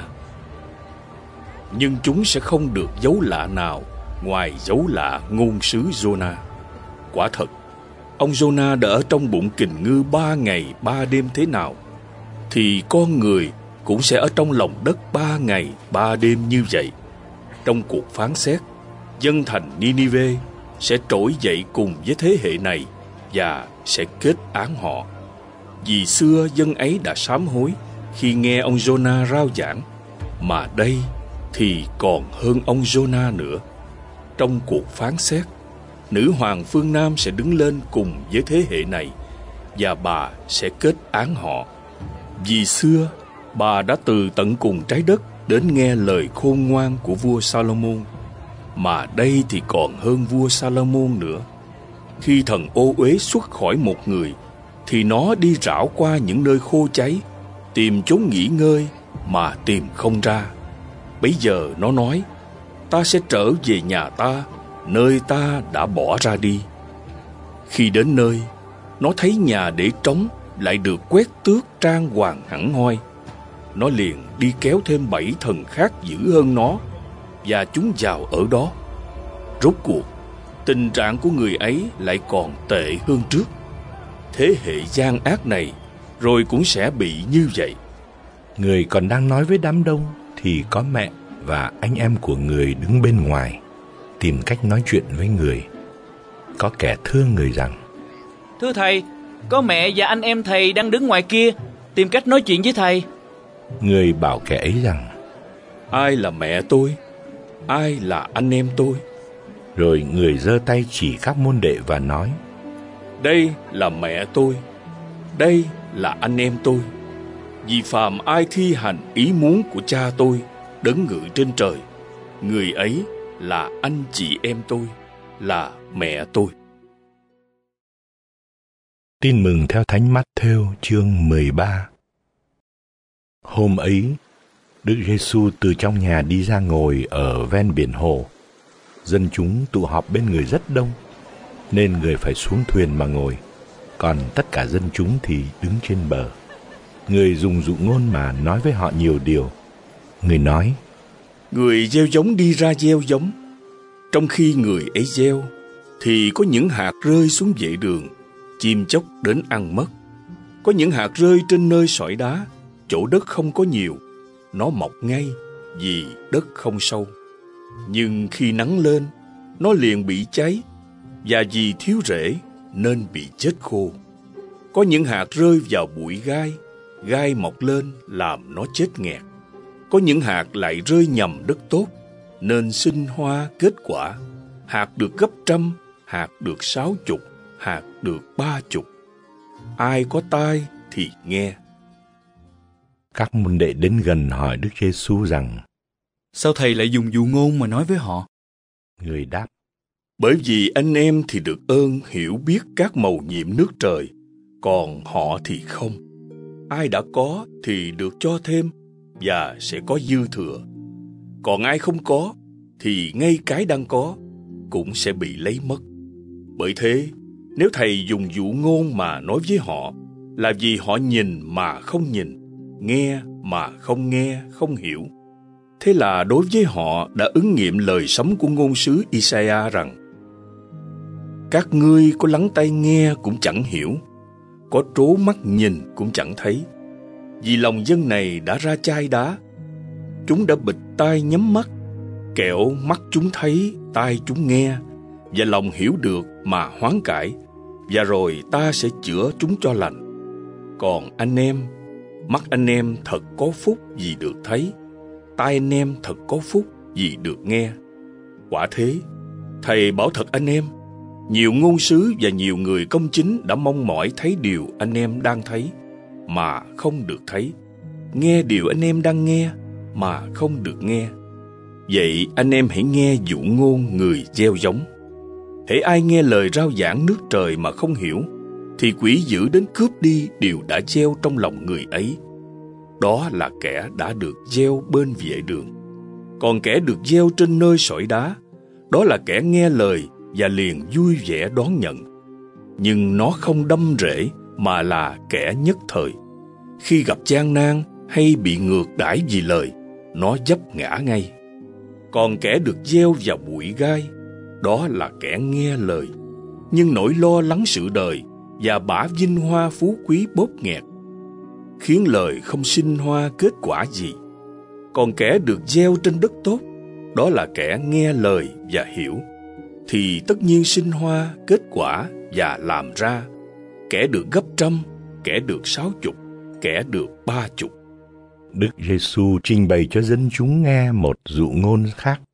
Nước trời ví như chuyện người kia gieo giống tốt trong ruộng mình. Khi mọi người đang ngủ, thì kẻ thù của ông đến gieo thêm cỏ lùng vào giữa lúa, rồi đi mất. Khi lúa mọc lên và trổ bông, thì cỏ lùng cũng xuất hiện. Đầy tớ mới đến thưa chủ nhà rằng, Thưa ông, không phải ông đã gieo giống tốt trong ruộng ông sao? Thế thì cỏ lùng ở đâu mà ra vậy? Ông đáp, kẻ thù đã làm đó. Đầy tớ nói, vậy ông có muốn chúng tôi ra đi gom lại không? Ông đáp, đừng, sợ rằng khi gom cỏ lùng, các anh làm bật luôn rễ lúa. Cứ để cả hai cùng lớn lên cho tới mùa gặt. Đến ngày mùa, tôi sẽ bảo thợ gặt, hãy gom cỏ lùng lại, bó thành bó mà đốt đi. Còn lúa thì hãy thu vào kho lẫm cho tôi. Đức Giêsu còn trình bày cho họ nghe một dụ ngôn khác. Người nói, Nước trời cũng giống như chuyện hạt cải, người nọ lấy gieo trong ruộng mình. Tuy nó là loại nhỏ nhất trong tất cả các hạt giống, nhưng khi lớn lên thì lại là thứ lớn nhất. Nó trở thành cây, đến nỗi chim trời tới làm tổ trên cành được. người còn kể cho họ một dụ ngôn khác. Nước trời cũng giống như chuyện nắm men, bà kia lấy vùi vào ba thúng bột, cho đến khi tất cả bột dậy men. Tất cả các điều ấy, Đức Giêsu dùng dụ ngôn mà nói với đám đông và người không nói gì với họ mà không dùng dụ ngôn hầu ứng nghiệm lời sấm của ngôn sứ Mở miệng ra, tôi sẽ kể dụ ngôn, công bố những điều được giữ kín từ tạo thiên lập địa. bấy giờ đức giêsu bỏ đám đông mà về nhà các môn đệ lại gần người và thưa rằng Xin Thầy giải nghĩa dụ ngôn cỏ lùng trong ruộng cho chúng con nghe. người đáp Kẻ gieo hạt giống tốt là con người. Ruộng là thế gian, hạt giống tốt đó là con cái nước trời. Cỏ lùng là con cái ác thần. Kẻ thù đã treo cỏ lùng là ma quỷ. Mùa gặt là ngày tận thế, thợ gặt là các thiên thần. Vậy, như người ta nhặt cỏ lùng rồi lấy lửa đốt đi thế nào, thì đến ngày tận thế cũng sẽ xảy ra như vậy. Con người sẽ sai các thiên thần của người trung mọi kẻ làm gương mù, gương xấu và mọi kẻ làm điều gian ác mà tống ra khỏi nước của người, rồi quăng chúng vào lò lửa. Ở đó, chúng sẽ phải khóc lóc nghiến răng. Bây giờ người công chính sẽ chói lọi như mặt trời trong nước của cha họ. Ai có tai thì nghe. Nước trời giống như chuyện kho báu chôn giấu trong ruộng. Có người kia gặp được thì liền chôn giấu lại, rồi vui mừng đi bán tất cả những gì mình có mà mua thửa ruộng ấy. Nước trời lại cũng giống như chuyện một thương gia đi tìm ngọc đẹp, tìm được một viên ngọc quý. Ông ta ra đi bán tất cả những gì mình có mà mua viên ngọc ấy. Nước trời lại còn giống như chuyện chiếc lưới thả xuống biển, gom được đủ thứ cá. Khi lưới đầy, người ta kéo lên bãi, rồi ngồi nhặt cá tốt cho vào giỏ, còn cá xấu thì dứt ra ngoài. Đến ngày tận thế cũng sẽ xảy ra như vậy. Các thiên thần sẽ xuất hiện và tách biệt kẻ xấu ra khỏi hàng ngũ người công chính, rồi quăng chúng vào lò lửa. Ở đó, chúng sẽ phải khóc lóc nghiến răng. Anh em có hiểu tất cả những điều ấy không? Họ đáp, Thưa hiểu, người bảo họ, bởi vậy, bất cứ kinh sư nào đã được học hỏi về nước trời thì cũng giống như chủ nhà kia lấy ra từ trong kho tàng của mình cả cái mới lẫn cái cũ. Khi Đức Giêsu kể các dụ ngôn ấy xong, người đi khỏi nơi đó. Người về quê giảng dạy dân chúng trong hội đường của họ, khiến họ sừng sốt và nói, bởi đâu ông ta được khôn ngoan và làm được những phép lạ như thế? Ông không phải là con bác thợ sao? Mẹ của ông không phải là bà Maria, anh em của ông không phải là các ông Jacobe, Joseph, Simon và Judas sao? Và chị em của ông không phải đều là bà con lối sớm với chúng ta sao? Vậy bởi đâu ông ta được như thế? và họ vấp ngã vì người. Nhưng Đức Giêsu bảo họ, Ngôn sứ có bị rẽ rúng thì cũng chỉ là ở chính quê hương mình và trong gia đình mình mà thôi. người không làm nhiều phép lạ tại đó vì họ không tin.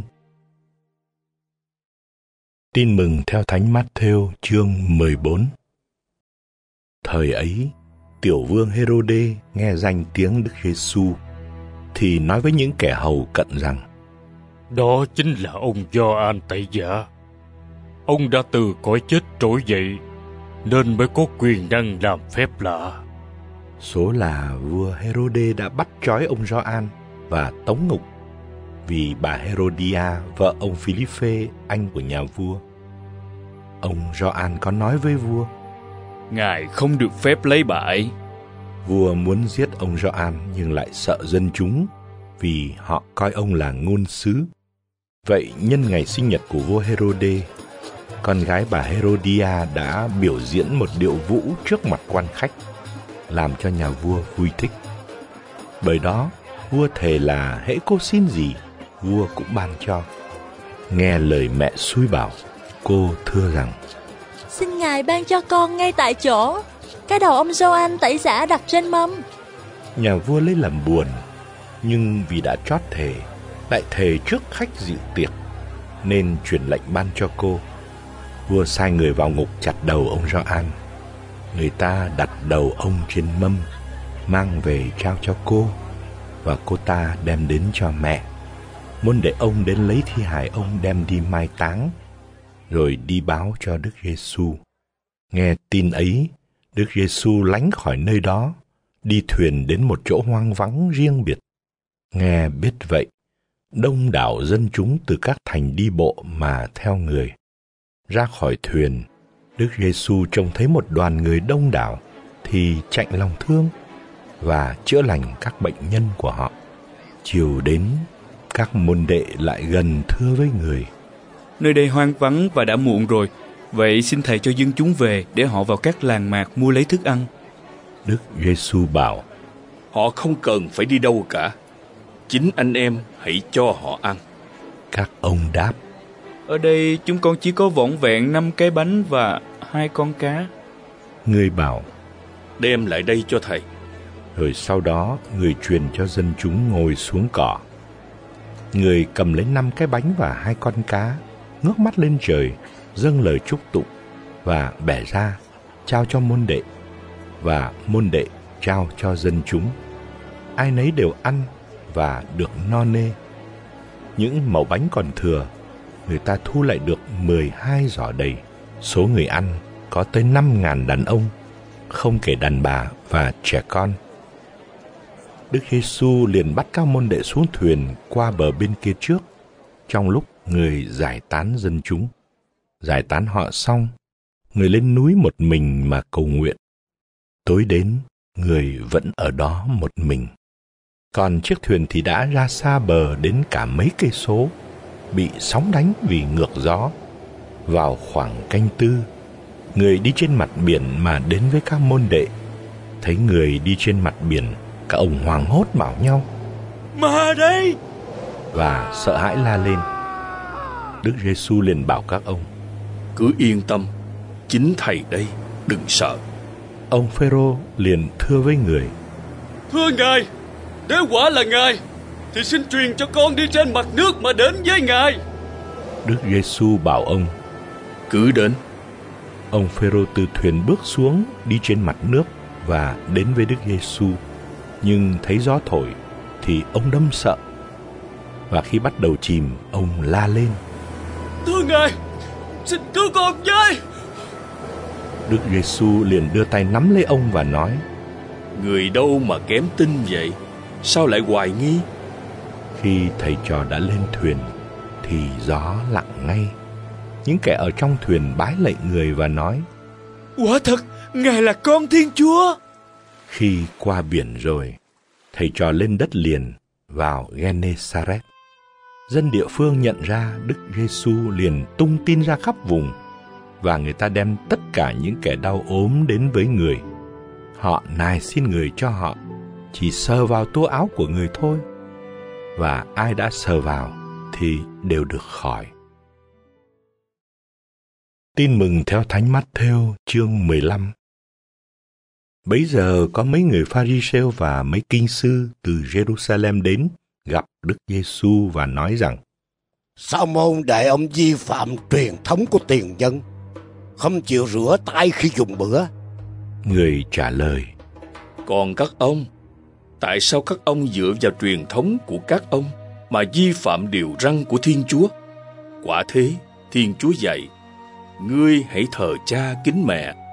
Kẻ nào nguyền rủa cha mẹ thì phải bị xử tử. Còn các ông, các ông lại bảo, ai nói với cha với mẹ rằng những gì con có để giúp cha mẹ đều là lễ phẩm dâng cho Chúa rồi, thì người ấy không phải thờ cha kính mẹ nữa. Như thế, các ông dựa vào truyền thống của các ông mà hủy bỏ lời Thiên Chúa. Những kẻ đạo đức giả kia, ngôn sứ Isa thật đã nói tiên tri rất đúng về các ông rằng dân này tôn kính ta bằng môi bằng miệng, còn lòng chúng thì lại xa ta. Chúng có thờ phượng ta thì cũng vô ích, vì giáo lý chúng giảng dạy chỉ là giới luật phạm nhân. Sau đó, Đức Giêsu gọi đám đông lại mà bảo: Hãy nghe và hiểu cho rõ. Không phải cái vào miệng làm cho con người ra ô quế, nhưng cái từ miệng xuất ra, cái đó mới làm cho con người ra ô uế. Bấy giờ các môn đệ đến gần Đức Giêsu mà thưa rằng: Thầy có biết không, những người Pharisêu đã vấp phạm khi nghe thầy nói lời ấy. Đức Giêsu đáp: Cây nào mà cha của thầy đấng ngự trên trời đã không trồng thì sẽ bị nhổ đi. Cứ để mặc họ, họ là những người mù dắt người mù. Mù mà lại dắt mù, cả hai sẽ lăn cù xuống hố. Ông Phêrô thưa với người: Xin thầy giải thích dụ ngôn cho chúng con. Đức Giêsu đáp: Cả anh em nữa. Bây giờ mà anh em vẫn còn ngu tối sao? Anh em không hiểu rằng bất cứ cái gì vào miệng thì xuống bụng, rồi bị thải ra ngoài sao? Còn những cái gì từ miệng xuất ra là phát xuất tự lòng.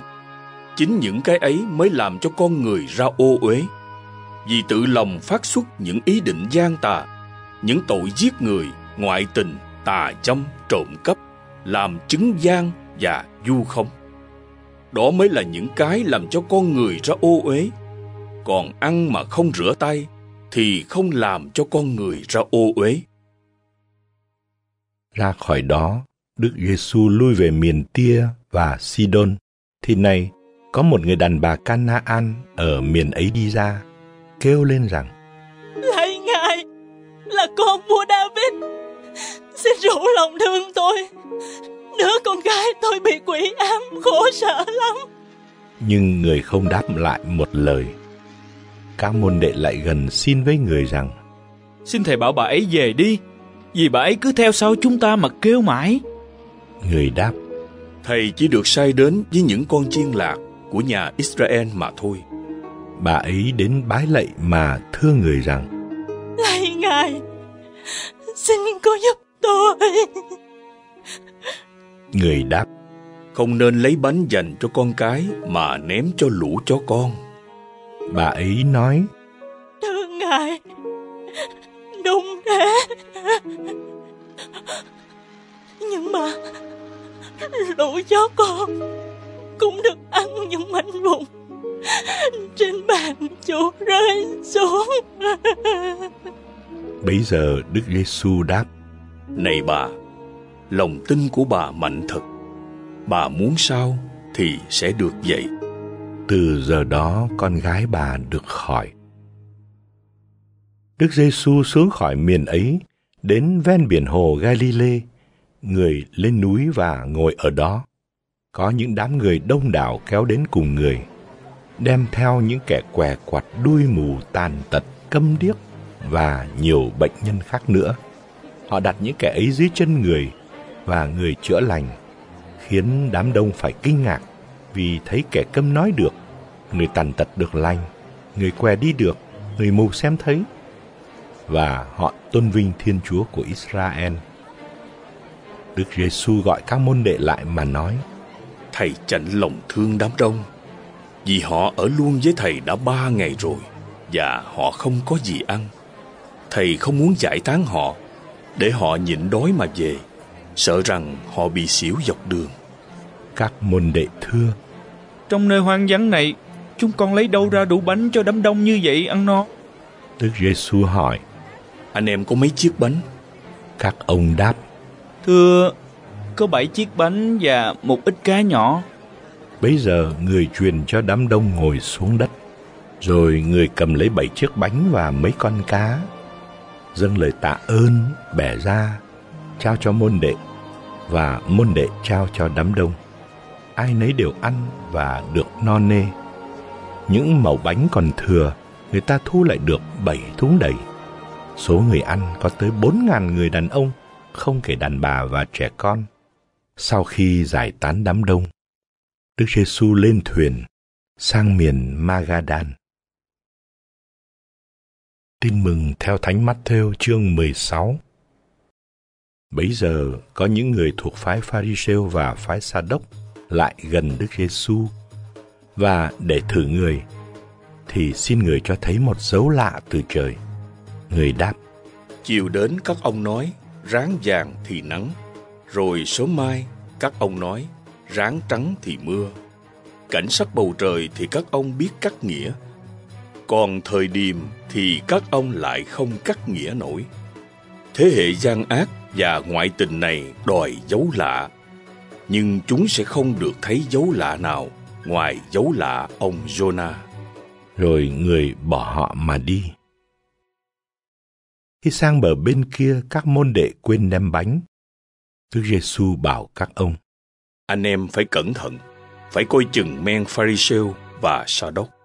Các môn đệ nghĩ thầm rằng: Tại chúng ta không đem bánh. Nhưng biết thế, Đức Giêsu nói: Sao anh em lại nghĩ đến chuyện không có bánh? Người đâu mà kém tin vậy? Anh em chưa hiểu ư? Anh em không nhớ chuyện năm chiếc bánh nuôi năm ngàn người sao? Và anh em còn thu lại được bao nhiêu giỏ? Rồi chuyện bảy chiếc bánh nuôi bốn ngàn người nữa.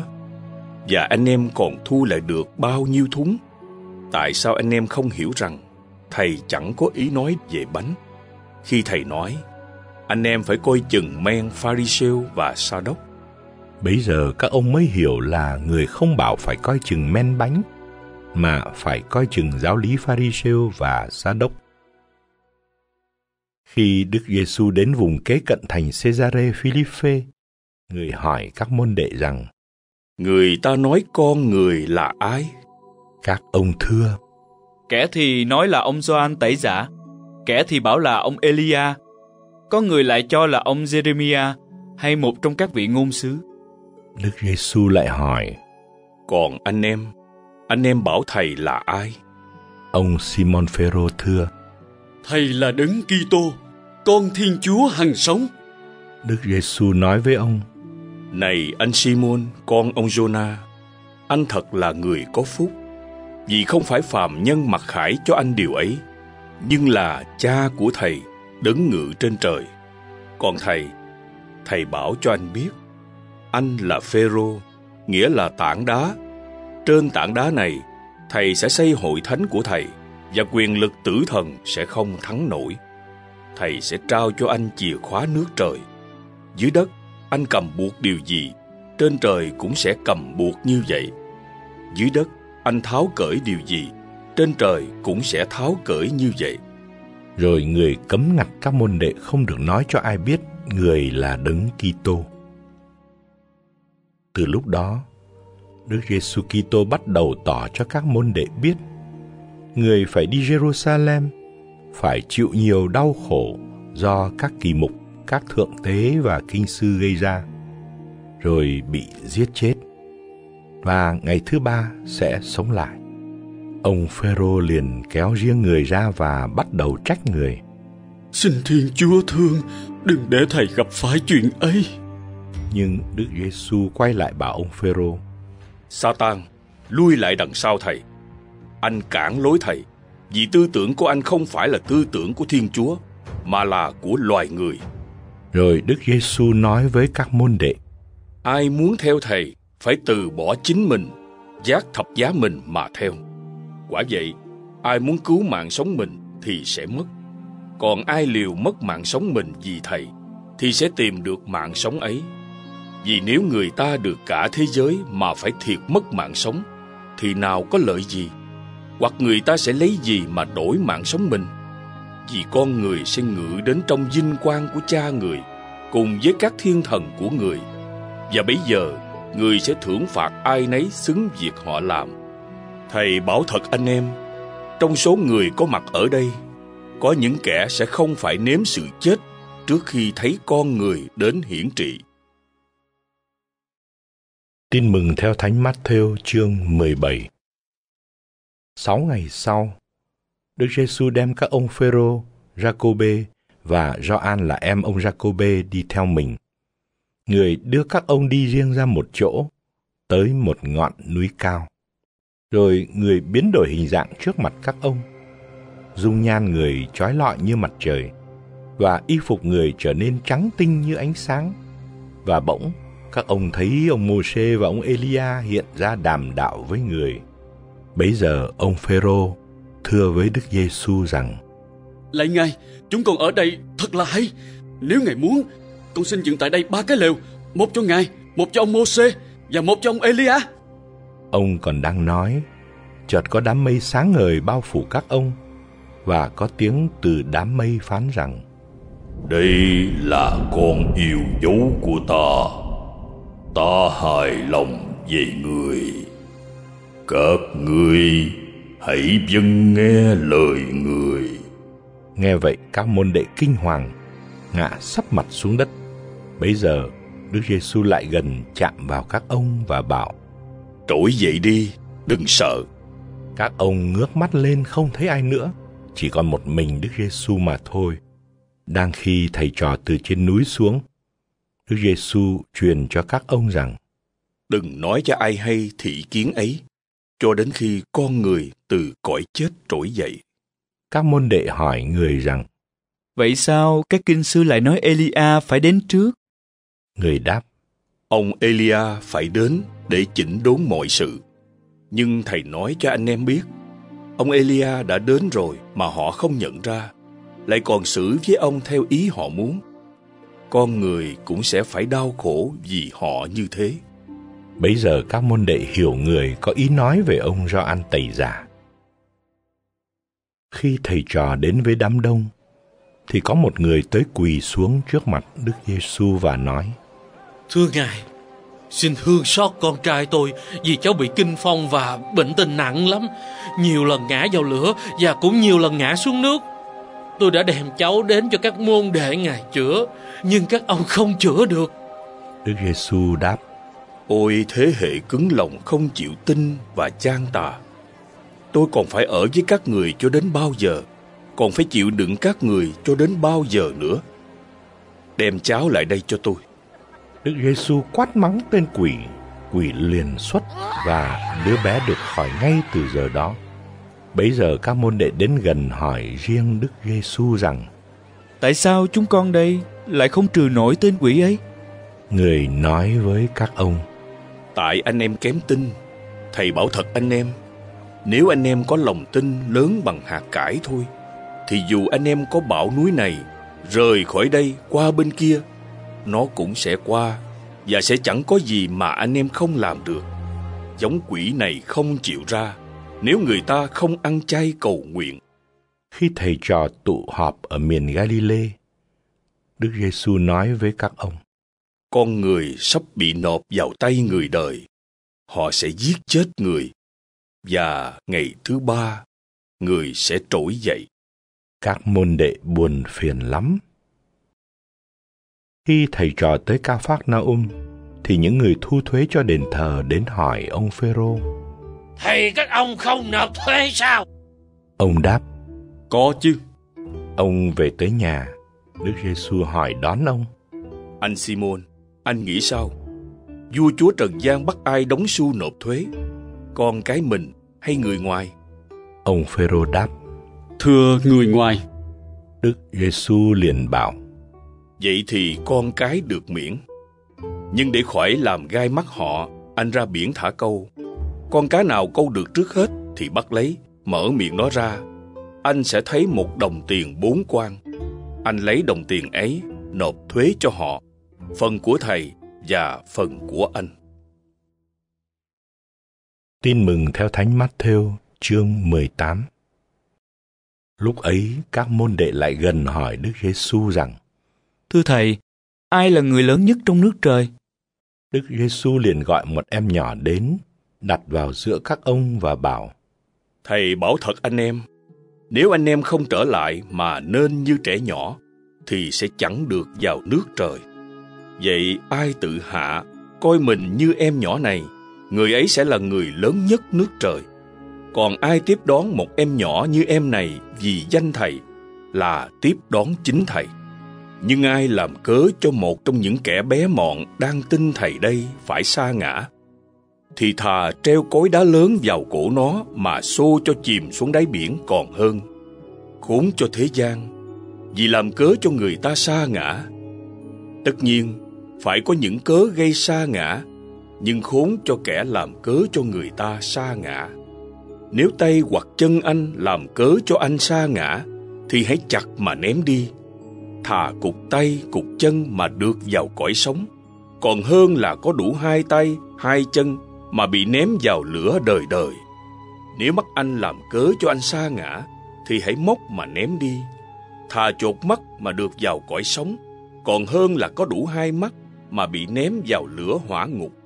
Anh em hãy coi chừng, chớ khinh một ai trong những kẻ bé mọn này. Quả thật, thầy nói cho anh em biết, các thiên thần của họ ở trên trời không ngừng chiêm ngưỡng nhan cha thầy đứng ngự trên trời vì con người đến để cứu cái gì đã hư mất. Anh em nghĩ sao? Ai có một trăm con chiên mà có một con đi lạc, lại không để 99 con kia trên núi mà đi tìm con chiên lạc sao? Và nếu may mà tìm được, thì thầy bảo thật anh em, người ấy vui mừng vì con chiên đó hơn là vì 99 con không bị lạc. Cũng vậy, cha của anh em đấng ngự trên trời không muốn cho một ai trong những kẻ bé mọn này phải hư mất. Nếu người anh em của anh trót phạm tội, thì anh hãy đi sửa lỗi nó. Một mình anh với nó mà thôi. Nếu nó chịu nghe anh, thì anh đã chinh phục được người anh em. Còn nếu nó không chịu nghe, thì hãy đem theo một hay hai người nữa. Để mọi công việc được giải quyết, căn cứ vào lời hai hoặc ba chứng nhân. Nếu nó không nghe họ, thì hãy đi thưa hội thánh. Nếu hội thánh mà nó cũng chẳng nghe, thì hãy kể nó như một người ngoại hay một người thu thuế. Thầy bảo thật anh em, dưới đất anh em cầm buộc những điều gì, trên trời cũng cầm buộc như vậy. Dưới đất, anh em tháo cởi những điều gì, trên trời cũng tháo cởi như vậy. Thầy còn bảo thật anh em, nếu ở dưới đất, hai người trong anh em hợp lời cầu xin bất cứ điều gì, thì cha thầy đấng ngự trên trời sẽ ban cho. Vì ở đâu có hai ba người họp lại nhân danh thầy, thì có thầy ở đấy giữa họ. Bấy giờ ông Phêrô đến gần Đức Giêsu mà hỏi rằng: Thưa thầy, nếu anh em con cứ xúc phạm đến con, thì con phải tha đến mấy lần? Có phải bảy lần không? Đức Giêsu đáp: Thầy không bảo là đến bảy lần, nhưng là đến bảy mươi lần bảy.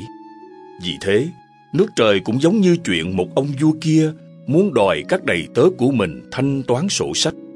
Khi nhà vua vừa bắt đầu, thì người ta dẫn đến một kẻ mắc nợ vua mười ngàn yến vàng. Y không có gì để trả. Nên tôn chủ ra lệnh bán y cùng tất cả vợ con, tài sản mà trả nợ. Bây giờ tên đầy tớ ấy sắp mình xuống bái lạy. Thưa ngài, xin rộng lòng hoãn lại cho tôi, tôi sẽ lo trả hết. Tôn chủ của tên đầy tớ ấy liền chạnh lòng thương, cho y về và tha luôn món nợ. Nhưng vừa ra đến ngoài, tên đầy tớ ấy gặp một người đồng bạn, mắc nợ y một trăm quan tiền. Y liền túm lấy, bóp cổ mà bảo, trả nợ cho tao. Bây giờ người đồng bạn sắp mình xuống năn nỉ. Thưa anh, xin rộng lòng quản lại cho tôi, tôi sẽ lo trả anh. Nhưng y không chịu, cứ tống anh ta vào ngục cho đến khi trả xong nợ. Thấy sự việc xảy ra như vậy, các đồng bạn của y buồn lắm. Mới đi trình bày với tôn chủ đầu đuôi câu chuyện. Bây giờ tôn chủ cho đòi y đến và bảo, tên đầy tớ độc ác kia, ta đã tha hết số nợ ấy cho ngươi, vì ngươi đã gian sinh ta. Thì đến lượt ngươi, ngươi không phải thương xót đồng bạn như chính ta đã thương xót ngươi sao? Rồi tôn chủ nổi cơn thịnh nộ, trao y cho lính hành hạ, cho đến ngày y trả hết nợ cho ông. Ấy vậy, cha của thầy ở trên trời cũng sẽ đối xử với anh em như thế, nếu mỗi người trong anh em không hết lòng tha thứ cho anh em mình. Tin mừng theo Thánh Matthew, chương 19 Khi Đức Giêsu giảng dạy những điều ấy xong, người rời khỏi miền Galilee và đi đến miền Jude bên kia sông Jordan. Dân chúng lũ lượt đi theo người và người đã chữa họ ở đó. Có mấy người Pharisee đến gần Đức Giêsu để thử người. Họ nói: Thưa thầy, có được phép rẫy vợ mình vì bất cứ lý do nào không? Người đáp: Các ông không đọc thấy điều này sao? Thuở ban đầu, đấng tạo hóa đã làm ra con người có nam, có nữ. Và người đã phán, vì thế người ta sẽ lìa cha mẹ mà gắn bó với vợ mình và cả hai sẽ thành một xương, một thịt. Như vậy, họ không còn là hai, nhưng chỉ là một xương, một thịt. Vậy, sự gì Thiên Chúa đã phối hợp, loài người không được phân ly. Họ thưa với người, Thế sao ông Mô-xê lại truyền dạy cấp giấy ly dị mà rẫy vợ? Người bảo họ, Vì các ông lòng chai dạ đá, nên ông Mô-xê đã cho phép các ông rẫy vợ. Chứ thuở ban đầu không có thế đâu. Tôi nói cho các ông biết, ngoại trừ trường hợp hôn nhân bất hợp pháp, ai rẫy vợ mà cưới vợ khác là phạm tội ngoại tình. các môn đệ thưa người, Nếu làm chồng mà phải như thế đối với vợ, thì thà đừng lấy vợ còn hơn. nhưng người nói với các ông, không phải ai cũng hiểu được câu nói ấy, nhưng chỉ những ai được Thiên Chúa cho hiểu mới hiểu. Quả vậy, có những người không kết hôn vì từ khi lọt lòng mẹ, họ đã không có khả năng. Có những người không thể kết hôn vì bị người ta hoạn. Lại có những người tự ý không kết hôn vì nước trời. Ai hiểu được thì hiểu. Bấy giờ người ta dẫn trẻ em đến với Đức Giêsu để người đặt tay trên chúng và cầu nguyện. Các môn đệ la rầy chúng, nhưng Đức Giêsu nói: Cứ để trẻ em đến với thầy, đừng ngăn cấm chúng, vì nước trời là của những ai giống như chúng. Người đặt tay trên chúng rồi đi khỏi nơi đó. Bấy giờ có một người đến thưa Đức Giêsu rằng: Thưa thầy, tôi phải làm điều gì tốt để được hưởng sự sống đời đời? Đức Giêsu đáp: Sao anh hỏi tôi về điều tốt? Chỉ có một đấng tốt lành mà thôi. Nếu anh muốn vào cõi sống, thì hãy giữ các điều răn. Người ấy hỏi: Điều răn nào? Đức Giêsu đáp: Ngươi không được giết người, ngươi không được ngoại tình, ngươi không được trộm cắp, ngươi không được làm chứng gian, ngươi phải thờ cha kính mẹ và ngươi phải yêu đồng loại như yêu chính mình. Người thanh niên ấy nói: Tất cả những điều đó tôi đã tuân giữ, tôi còn thiếu điều gì nữa không?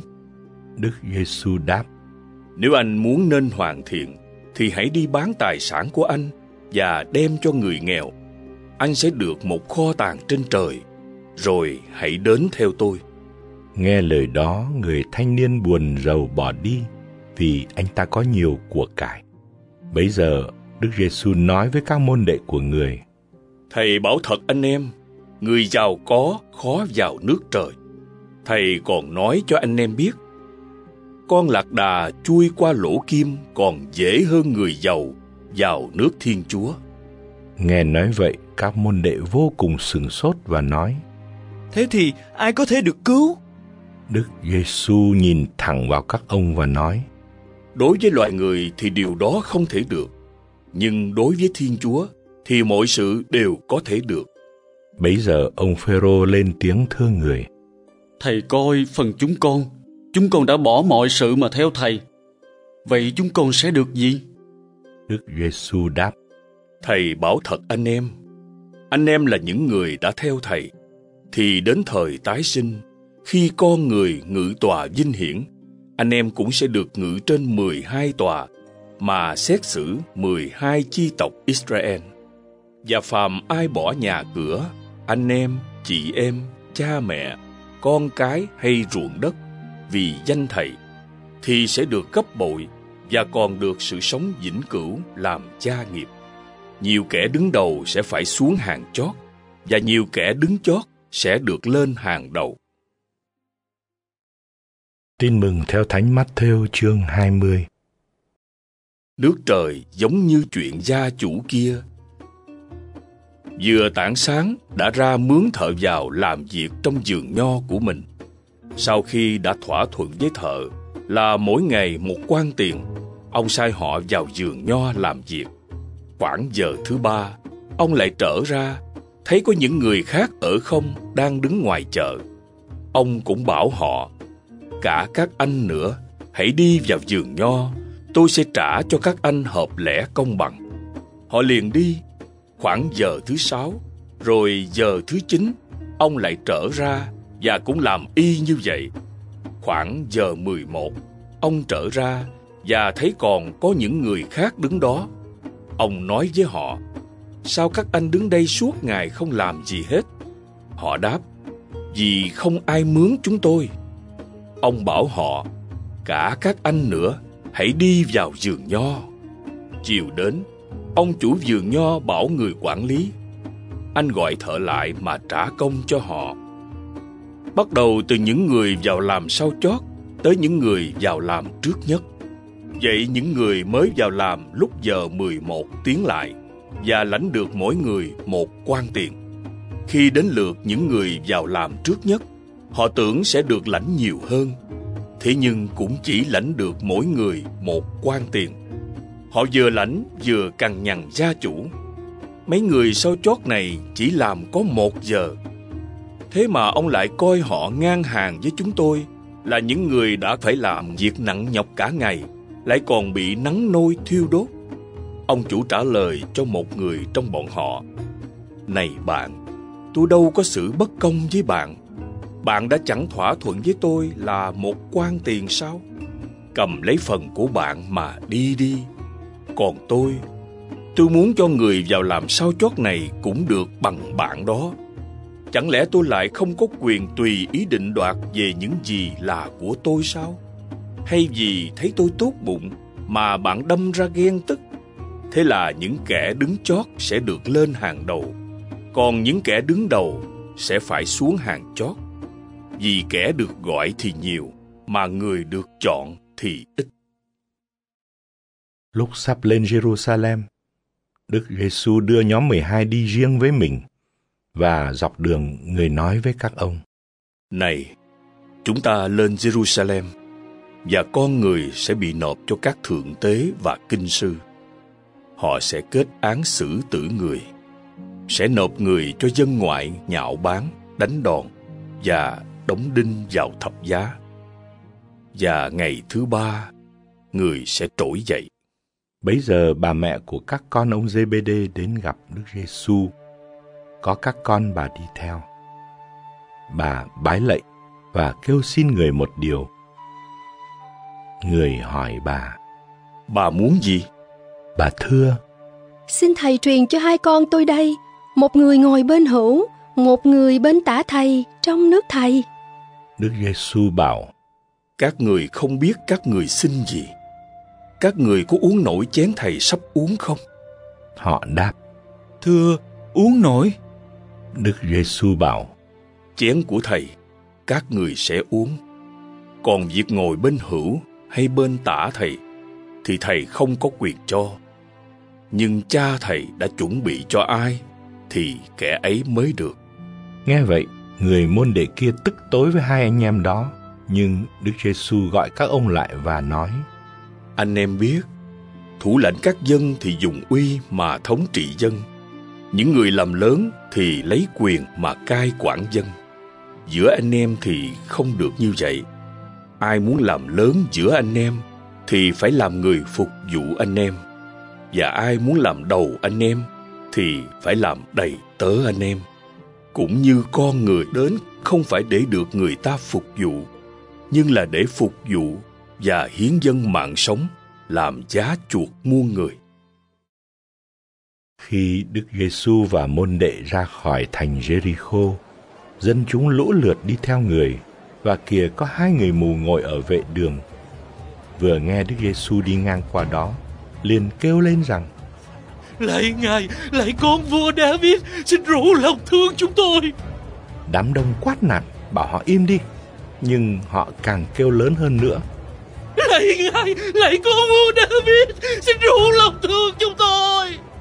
Đức Giêsu dừng lại, gọi họ đến và nói: Các anh muốn tôi làm gì cho các anh? Họ thưa: Lạy Ngài, xin cho mắt chúng tôi được mở ra. Đức Giêsu chạnh lòng thương sờ vào mắt họ. Tức khắc họ nhìn thấy được và đi theo người.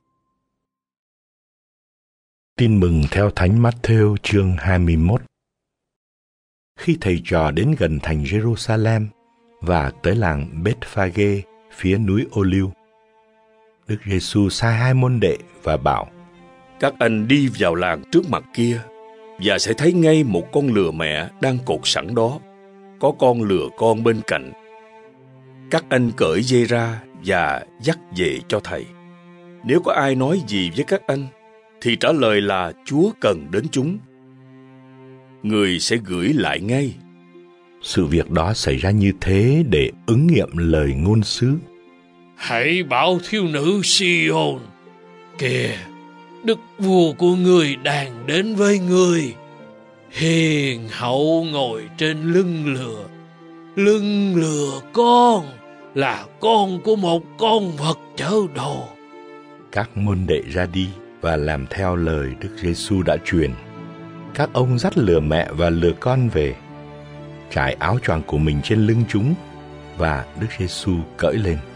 Một đám người rất đông cũng lấy áo choàng trải xuống mặt đường. Một số khác lại chặt nhành chặt lá mà rải lên lối đi. Dân chúng, người đi trước, kẻ theo sau reo hò vang dậy. Quang hô con vua David Chúc tụng đấng ngự đến nhân danh Đức Chúa Quang hô trên các tầng trời Khi Đức Giêsu vào Jerusalem, cả thành náo động và thiên hạ hỏi nhau. Ông này là ai vậy? Dân chúng trả lời. Một sư Giêsu người Nazareth, xứ Galilee đấy. Đức Giêsu vào đền thờ, đuổi tất cả những người đang mua bán trong đền thờ, lật bàn của những người đổi bạc và xô ghế của những kẻ bán bồ câu. Rồi người bảo họ, Đã có lời chép rằng, nhà ta sẽ được gọi là nhà cầu nguyện. Thế mà các ngươi lại biến thành sào huyệt của bọn cướp. có những kẻ mù lòa què quặt đến với người trong đền thờ và người đã chữa họ lành. Nhưng các thượng tế và kinh sư thấy những việc lạ lùng người đã làm và thấy lũ trẻ reo hò trong đền thờ thì tức tối và nói với người rằng Ông có nghe chúng nói gì không? Đức Giêsu đáp Có, nhưng còn lời này các ông chưa bao giờ đọc sao? Ngài sẽ cho miệng con thơ trẻ nhỏ cất tiếng ngợi khen. rồi người bỏ họ mà ra khỏi thành đến Betania và qua đêm tại đó. Sáng sớm khi trở vào thành, người cảm thấy đói, trông thấy cây vả ở bên đường. Người lại gần nhưng không tìm được gì cả, chỉ thấy lá thôi. Nên người nói, Từ nay không bao giờ mày có trái nữa. cây vả chết khô ngay lập tức. Thấy vậy các môn đệ ngạc nhiên nói, Sao cây vả lại chết khô ngay lập tức như thế? Đức Giêsu trả lời, Thầy bảo thật anh em, nếu anh em tin và không chút nghi nan, thì chẳng những anh em làm được điều thầy vừa làm cho cây vả, mà hơn nữa, anh em có bảo núi này, dời chỗ đi, nhào xuống biển, thì sự việc sẽ xảy ra như thế. Tất cả những gì anh em lấy lòng tin mà xin khi cầu nguyện, thì anh em sẽ được. Đức Giêsu vào đền thờ và trong khi người giảng dạy, các thượng tế và kỳ mục trong dân đến gần người và hỏi: Ông lấy quyền nào mà làm các điều ấy? Ai đã cho ông quyền ấy? Đức Giêsu đáp: Còn tôi, tôi chỉ xin hỏi các ông một điều thôi. Nếu các ông trả lời được cho tôi, thì tôi cũng sẽ nói cho các ông biết tôi lấy quyền nào mà làm các điều ấy. Vậy phép rửa của ông Gioan do đâu mà có? Do trời hay do người ta? Họ mới nghĩ thầm, Nếu mình nói do trời, thì giọng ấy sẽ vặn lại. Thế sao các ông lại không tin ông ấy? Còn nếu mình nói do người ta, thì mình sợ dân chúng, vì ai nấy đều cho ông Gioan là một ngôn sứ. họ mới trả lời Đức Giêsu. Chúng tôi không biết. Người cũng nói với họ: Tôi cũng vậy. Tôi không nói cho các ông là tôi lấy quyền nào mà làm các điều ấy. Các ông nghĩ sao? Một người kia có hai con trai. Ông ta đến nói với người thứ nhất. Này con, hôm nay con hãy đi làm giường nho. Nó đáp, con không muốn đâu. Nhưng sau đó, nó hối hận nên lại đi. Ông đến gặp người thứ hai và cũng bảo như vậy. Nó đáp, thưa ngài, con đây. Nhưng rồi lại không đi. Trong hai người con đó, ai đã thi hành ý muốn của người cha? Họ trả lời. Người thứ nhất, Đức Giêsu nói với họ: Tôi bảo thật các ông, những người thu thuế và những cô gái điếm vào nước Thiên Chúa trước các ông. Vì ông Gioan đã đến chỉ đường công chính cho các ông, mà các ông không tin ông ấy. Còn những người thu thuế và những cô gái điếm lại tin. Phần các ông, khi đã thấy vậy rồi, các ông vẫn không chịu hối hận mà tin ông ấy. Các ông hãy nghe một dụ ngôn khác. Có gia chủ kia trồng được một vườn nho, chung quanh vườn, ông rào dậu. Trong vườn, ông khoét bồn đạp nho và xây một tháp canh. Ông cho tá điền canh tác rồi chảy đi xa. Gần đến mùa hái nho, ông sai đầy tớ đến gặp các tá điền để thu hoa lợi. Bọn tá điền bắt các đầy tớ ông, chúng đánh người này, giết người kia, ném đá người nọ. Ông lại sai một số đầy tớ khác đông hơn trước, nhưng bọn tá điền cũng xử với họ y như vậy. Sau cùng, ông sai chính con trai mình đến gặp chúng, vì nghĩ rằng chúng sẽ nể con ta. Nhưng bọn tá điền vừa thấy người con thì bảo nhau, đứa thừa tử đây rồi, nào ta giết quách nó đi và đoạt lấy gia tài nó. Thế là chúng bắt lấy cậu, quăng ra bên ngoài vườn nho và giết đi. Vậy xin hỏi, khi ông chủ vườn nho đến, ông sẽ làm gì bọn tá điền kia? Họ đáp, Ác giả ác báo, ông sẽ tru diệt bọn chúng và cho các tá điền khác canh tác vườn nho để cứ đúng mùa họ nộp hoa lợi cho ông. Đức Giêsu bảo họ, Kinh Thánh có câu, tảng đá thợ xây nhà loại bỏ, lại trở nên đá tảng góc tường. Đó chính là công trình của Chúa, công trình kỳ diệu trước mắt chúng ta. Các ông chưa bao giờ đọc câu này sao? Bởi đó, tôi nói cho các ông hay, nước Thiên Chúa, Thiên Chúa sẽ lấy đi không cho các ông nữa, mà ban cho một dân biết làm cho nước ấy sinh hoa lợi. Ai ngã xuống đá này, kẻ ấy sẽ tan xương. Đá này rơi trúng ai, sẽ làm người ấy nát thịt. Nghe những dụ ngôn người kể, các thượng tế và người Pharisêu hiểu là người nói về họ. Họ tìm cách bắt người, nhưng lại sợ dân chúng, vì dân chúng cho người là một ngôn sứ. Tin mừng theo Thánh Matthew, chương 22 Đức Giêsu lại dùng dụ ngôn mà nói với họ rằng Nước trời cũng giống như chuyện một vua kia mở tiệc cưới cho con mình. Nhà vua sai đầy tớ đi thỉnh các quan khách đã được mời trước, xin họ đến dự tiệc. Nhưng họ không chịu đến. Nhà vua lại sai những đầy tớ khác đi và dặn họ Hãy thưa với quan khách đã được mời rằng Này cổ bàn ta đã dọn xong Bò tơ và thú béo đã hạ rồi Mọi sự đã sẵn Mời quý vị đến dự tiệc cưới.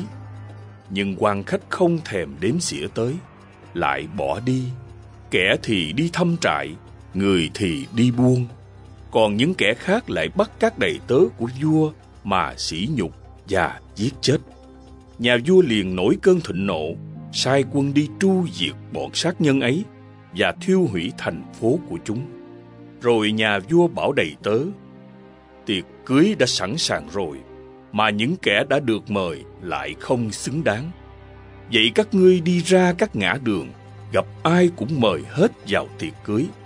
Tây tớ liền đi ra các nẻo đường Gặp ai bất luận xấu tốt Cũng tập hợp cả lại Nên phòng tiệc cưới đã đầy thực khách. Bây giờ nhà vua tiến vào quan sát khách dự tiệc. Thấy ở đó có một người không mặc y phục lễ cưới Mới hỏi người ấy Này bạn, làm sao bạn vào đây mà lại không có y phục lễ cưới?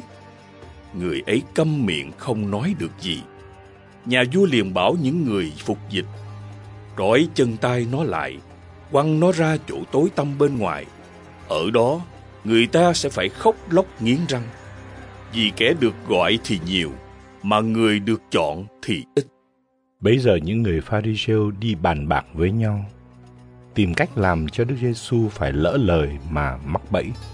Họ sai các môn đệ của họ cùng đi với những người phe Herode đến nói với Đức Giêsu rằng: Thưa thầy, chúng tôi biết thầy là người chân thật và cứ sự thật mà dạy đường lối của Thiên Chúa. Thầy cũng chẳng vì nể ai, vì thầy không cứ bề ngoài mà đánh giá người ta. Vậy xin thầy cho biết ý kiến, có được phép nộp thuế cho Caesar hay không? Nhưng Đức Giêsu biết họ có ác ý nên người nói: Tại sao các người lại thử tôi hỡi những kẻ giả hình? Cho tôi xem đồng tiền nộp thuế. Họ liền đưa cho người một quan tiền. Người hỏi họ: Hình và danh hiệu này là của ai đấy? Họ đáp: Của Caesar. Bấy giờ người bảo họ: Thế thì của Caesar trả về Caesar, của Thiên Chúa trả về Thiên Chúa. Nghe vậy, họ ngạc nhiên và để người lại đó mà đi. Hôm đó, có những người thuộc nhóm Sa đốc đến gặp Đức Giêsu. Nhóm này chủ trương không có sự sống lại. Họ hỏi người: Thưa thầy, ông Môsê có nói nếu ai chết mà không có con thì anh hay em của người ấy phải cưới lấy người vợ góa để sinh con nối dòng cho anh hay em mình. Mà trong chúng tôi, nhà kia có bảy anh em trai. Người anh cả lấy vợ rồi chết.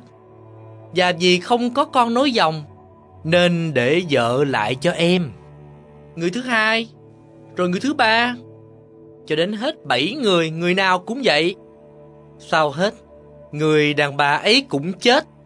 Vậy Trong ngày sống lại Bà ấy sẽ là vợ ai trong số bảy người? Vì tất cả đều đã lấy bà.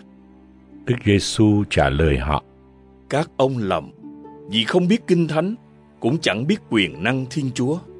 Quả thế Trong ngày sống lại Người ta chẳng lấy vợ lấy chồng Nhưng sẽ giống như các thiên thần trên trời.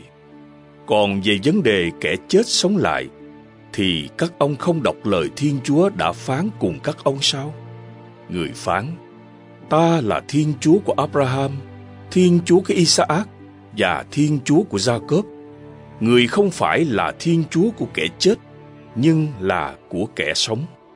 Dân chúng kinh ngạc khi nghe lời người dạy. Khi nghe tin Đức Giêsu đã làm cho nhóm Sa đốc phải câm miệng, thì những người Pharisêu họp nhau lại. Rồi một người thông luật trong nhóm hỏi Đức Giêsu để thử người rằng: Thưa thầy, trong sách luật Mô-xê, điều răn nào là điều răn trọng nhất? Đức Giêsu đáp: Ngươi phải yêu mến Đức Chúa, Thiên Chúa của ngươi hết lòng, hết linh hồn và hết trí khôn ngươi. Đó là điều răn quan trọng nhất và điều răn thứ nhất. Còn điều răn thứ hai cũng giống điều răn ấy là ngươi phải yêu người thân cận như chính mình. Tất cả luật Mô-xê và các sách ngôn sứ đều tùy thuộc vào hai điều răn ấy. Những người Pharisêu đang tụ tập thì Đức Giêsu hỏi họ rằng: Các ông nghĩ sao về Đấng Kitô? Người là con của ai? Họ thưa: Con của vua David. Người hỏi: Vậy tại sao vua David được thần khí soi sáng lại gọi người là Chúa Thượng khi nói rằng Đức Chúa phán cùng Chúa Thượng tôi bên hữu cha đây con lên ngự trị để rồi bao địch thù cha sẽ đặt dưới chân con. Vậy nếu vua David gọi Đấng Kitô là Chúa Thượng, thì làm sao Đấng Kitô lại là con vua ấy được? Không ai đáp lại người được một tiếng. Và từ ngày ấy, chẳng ai còn dám chất vấn người nữa. Tin mừng theo Thánh Matthew chương 23 Bấy giờ Đức Giêsu nói với dân chúng và các môn đệ người rằng: Các kinh sư và các người Pharisêu ngồi trên tòa ông Môsê mà giảng dạy. Vậy tất cả những gì họ nói, anh em hãy làm, hãy giữ. Còn những việc họ làm thì đừng có làm theo. Vì họ nói mà không làm. Họ bó những gánh nặng mà chất lên vai người ta, nhưng chính họ thì lại không buồn động ngón tay vào. Họ làm mọi việc cốt để cho thiên hạ thấy. Quả vậy, họ đeo những hộp kinh thật lớn mang những tua áo thật dài. Họ thích chỗ nhất trong đám tiệc, chiếm hàng ghế đầu trong hội đường. Ưa được người ta chào hỏi ở những nơi công cộng và được thiên hạ gọi là Rabbi. Phần anh em thì đừng để ai gọi mình là Rabbi, nghĩa là thầy, vì anh em chỉ có một thầy, còn tất cả anh em đều là anh em với nhau. Anh em cũng đừng gọi ai dưới đất này là cha của anh em, vì anh em chỉ có một cha là cha trên trời. Anh em cũng đừng để ai gọi mình là người lãnh đạo, vì anh em chỉ có một vị lãnh đạo là Đức Kitô. Trong anh em, người làm lớn hơn cả phải làm người phục vụ anh em. Ai tôn mình lên sẽ bị hạ xuống, còn ai hạ mình xuống sẽ được tôn lên. Khốn cho các người, hỡi các kinh sư và người Pharisêu giả hình các người khóa cửa nước trời không cho thiên hạ vào. Các người đã không vào, mà những kẻ muốn vào, các người cũng không để họ vào. Khốn cho các người, hỡi các kinh sư và người Pharisêu giả hình. Các người nuốt hết tài sản của các bà quá, lại còn làm bộ đọc kinh cầu nguyện lâu giờ. Cho nên các người sẽ bị kết án nghiêm khắc hơn. Khốn cho các người, hỡi các kinh sư và người Pharisêu giả hình, các người rảo khắp biển cả đất liền để rủ cho được người theo đạo. Nhưng khi họ theo rồi, các người lại làm cho họ đáng xuống hỏa ngục gấp đôi các người. Khốn cho các người, những kẻ dẫn đường mù quáng. Các người bảo, ai chỉ đền thờ mà thề, thì có thể cũng như không. Còn ai chỉ vàng trong đền thờ mà thề, thì bị ràng buộc. Đồ ngu si mù quáng. Thế thì vàng hay đền thờ là nơi làm cho vàng nên của thánh, cái nào trọng hơn? Các người còn nói, ai chỉ bàn thờ mà thề, thì có thề cũng như không. Nhưng ai chỉ lễ vật trên bàn thờ mà thề, thì bị ràng buộc. Đồ mù quáng. Thế thì lễ vật hay bàn thờ là nơi làm cho lễ vật nên của thánh, cái nào trọng hơn? Vậy ai chỉ bàn thờ mà thề? Là chỉ bàn thờ và mọi sự trên bàn thờ mà thề. Và ai chỉ đền thờ mà thề là chỉ đền thờ và đấng ngự ở đó mà thề. Và ai chỉ trời mà thề là chỉ ngay Thiên Chúa và cả Thiên Chúa ngự trên đó mà thề. Khốn cho các người, hỡi các kinh sư và người Pharisêu giả hình. Các người nộp thuế thập phân về bạc hà thì là rau húng, mà bỏ những điều quan trọng nhất trong lề luật là công lý, lòng nhân và thành tính. Các điều này vẫn cứ phải làm, mà các điều kia thì không được bỏ. Quân dẫn đường mù quáng, các người lọc con mũi, nhưng lại nuốt con lạc đà. Khốn cho các người, hỡi các kinh sư và người Pharisêu giả hình, các người rửa sạch bên ngoài chén đĩa, nhưng bên trong thì đầy những chuyện cướp bóc và ăn chơi vô độ. Hỡi người Pharisêu mù quáng kia, hãy rửa bên trong chén đĩa cho sạch trước đã, để bên ngoài cũng được sạch. Khốn cho các người, hỡi các kinh sư và người Pharisêu giả hình, các người giống như mồ mã tô vôi, bên ngoài có vẻ đẹp, nhưng bên trong thì đầy xương người chết và đủ mọi thứ ô uế. Các người cũng vậy, bên ngoài thì có vẻ công chính trước mặt thiên hạ, nhưng bên trong toàn là giả hình và gian ác. Khốn cho các người, hỡi các kinh sư và người Pharisêu giả hình, các người xây mồ cho các ngôn sứ và tô mã cho những người công chính. Các người nói, nếu như chúng ta sống vào thời của tổ tiên, hẳn chúng ta đã không thông đồng với các ngài mà đổ máu các ngôn sứ. Như vậy, các người tự làm chứng rằng các người đúng là con cháu của những kẻ đã giết các ngôn sứ. Thì các người đổ thêm cho đầy đấu tội của tổ tiên các người đi. Đồ mãn xà nòi rắn độc kia các người trốn đâu cho khỏi hình phạt hỏa ngục?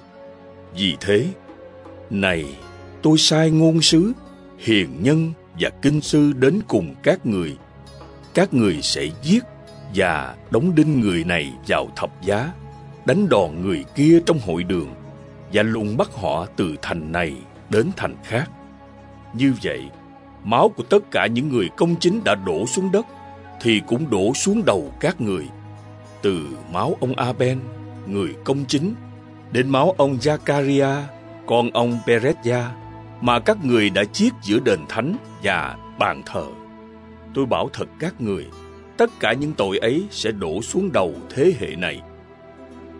Jerusalem, Jerusalem, Ngươi giết các ngôn sứ và ném đá những kẻ được sai đến cùng ngươi. Đã bao lần ta muốn tập hợp con cái ngươi lại, như gà mẹ tập hợp gà con dưới cánh, mà các ngươi không chịu. Thì này, nhà các ngươi sẽ bị bỏ hoang mặc cho các ngươi. Thật vậy, ta nói cho các ngươi hay, từ nay các ngươi sẽ không còn thấy ta nữa, cho đến khi các ngươi nói, chúc tụng đấng ngự đến nhân danh Đức Chúa. Tin mừng theo Thánh Matthew, chương 24. Khi Đức Giêsu từ trong đền thờ đi ra, thì các môn đệ của người lại gần chỉ cho người xem công trình kiến trúc đền thờ. Nhưng người nói, Anh em nhìn thấy tất cả những cái đó phải không? Thầy bảo thật anh em, tại đây sẽ không còn tảng đá nào trên tảng đá nào. Tất cả đều sẽ bị phá đổ. Sau đó lúc người ngồi trên núi ô liu, các môn đệ tới gặp riêng người và thưa. Xin Thầy nói cho chúng con biết khi nào những sự việc ấy xảy ra và cứ điềm nào mà biết ngày thầy quan lâm và ngày tận thế. Đức Giêsu đáp: Anh em hãy coi chừng, đừng để ai lừa gạt anh em. Vì sẽ có nhiều kẻ mạo danh thầy đến nói rằng chính ta đây là đấng Kitô và họ sẽ lừa gạt được nhiều người. Anh em sẽ nghe có giặc giả và tin đồn giặc giả. Coi chừng, đừng khiếp sợ, vì những việc đó phải xảy ra, nhưng chưa phải là tận cùng.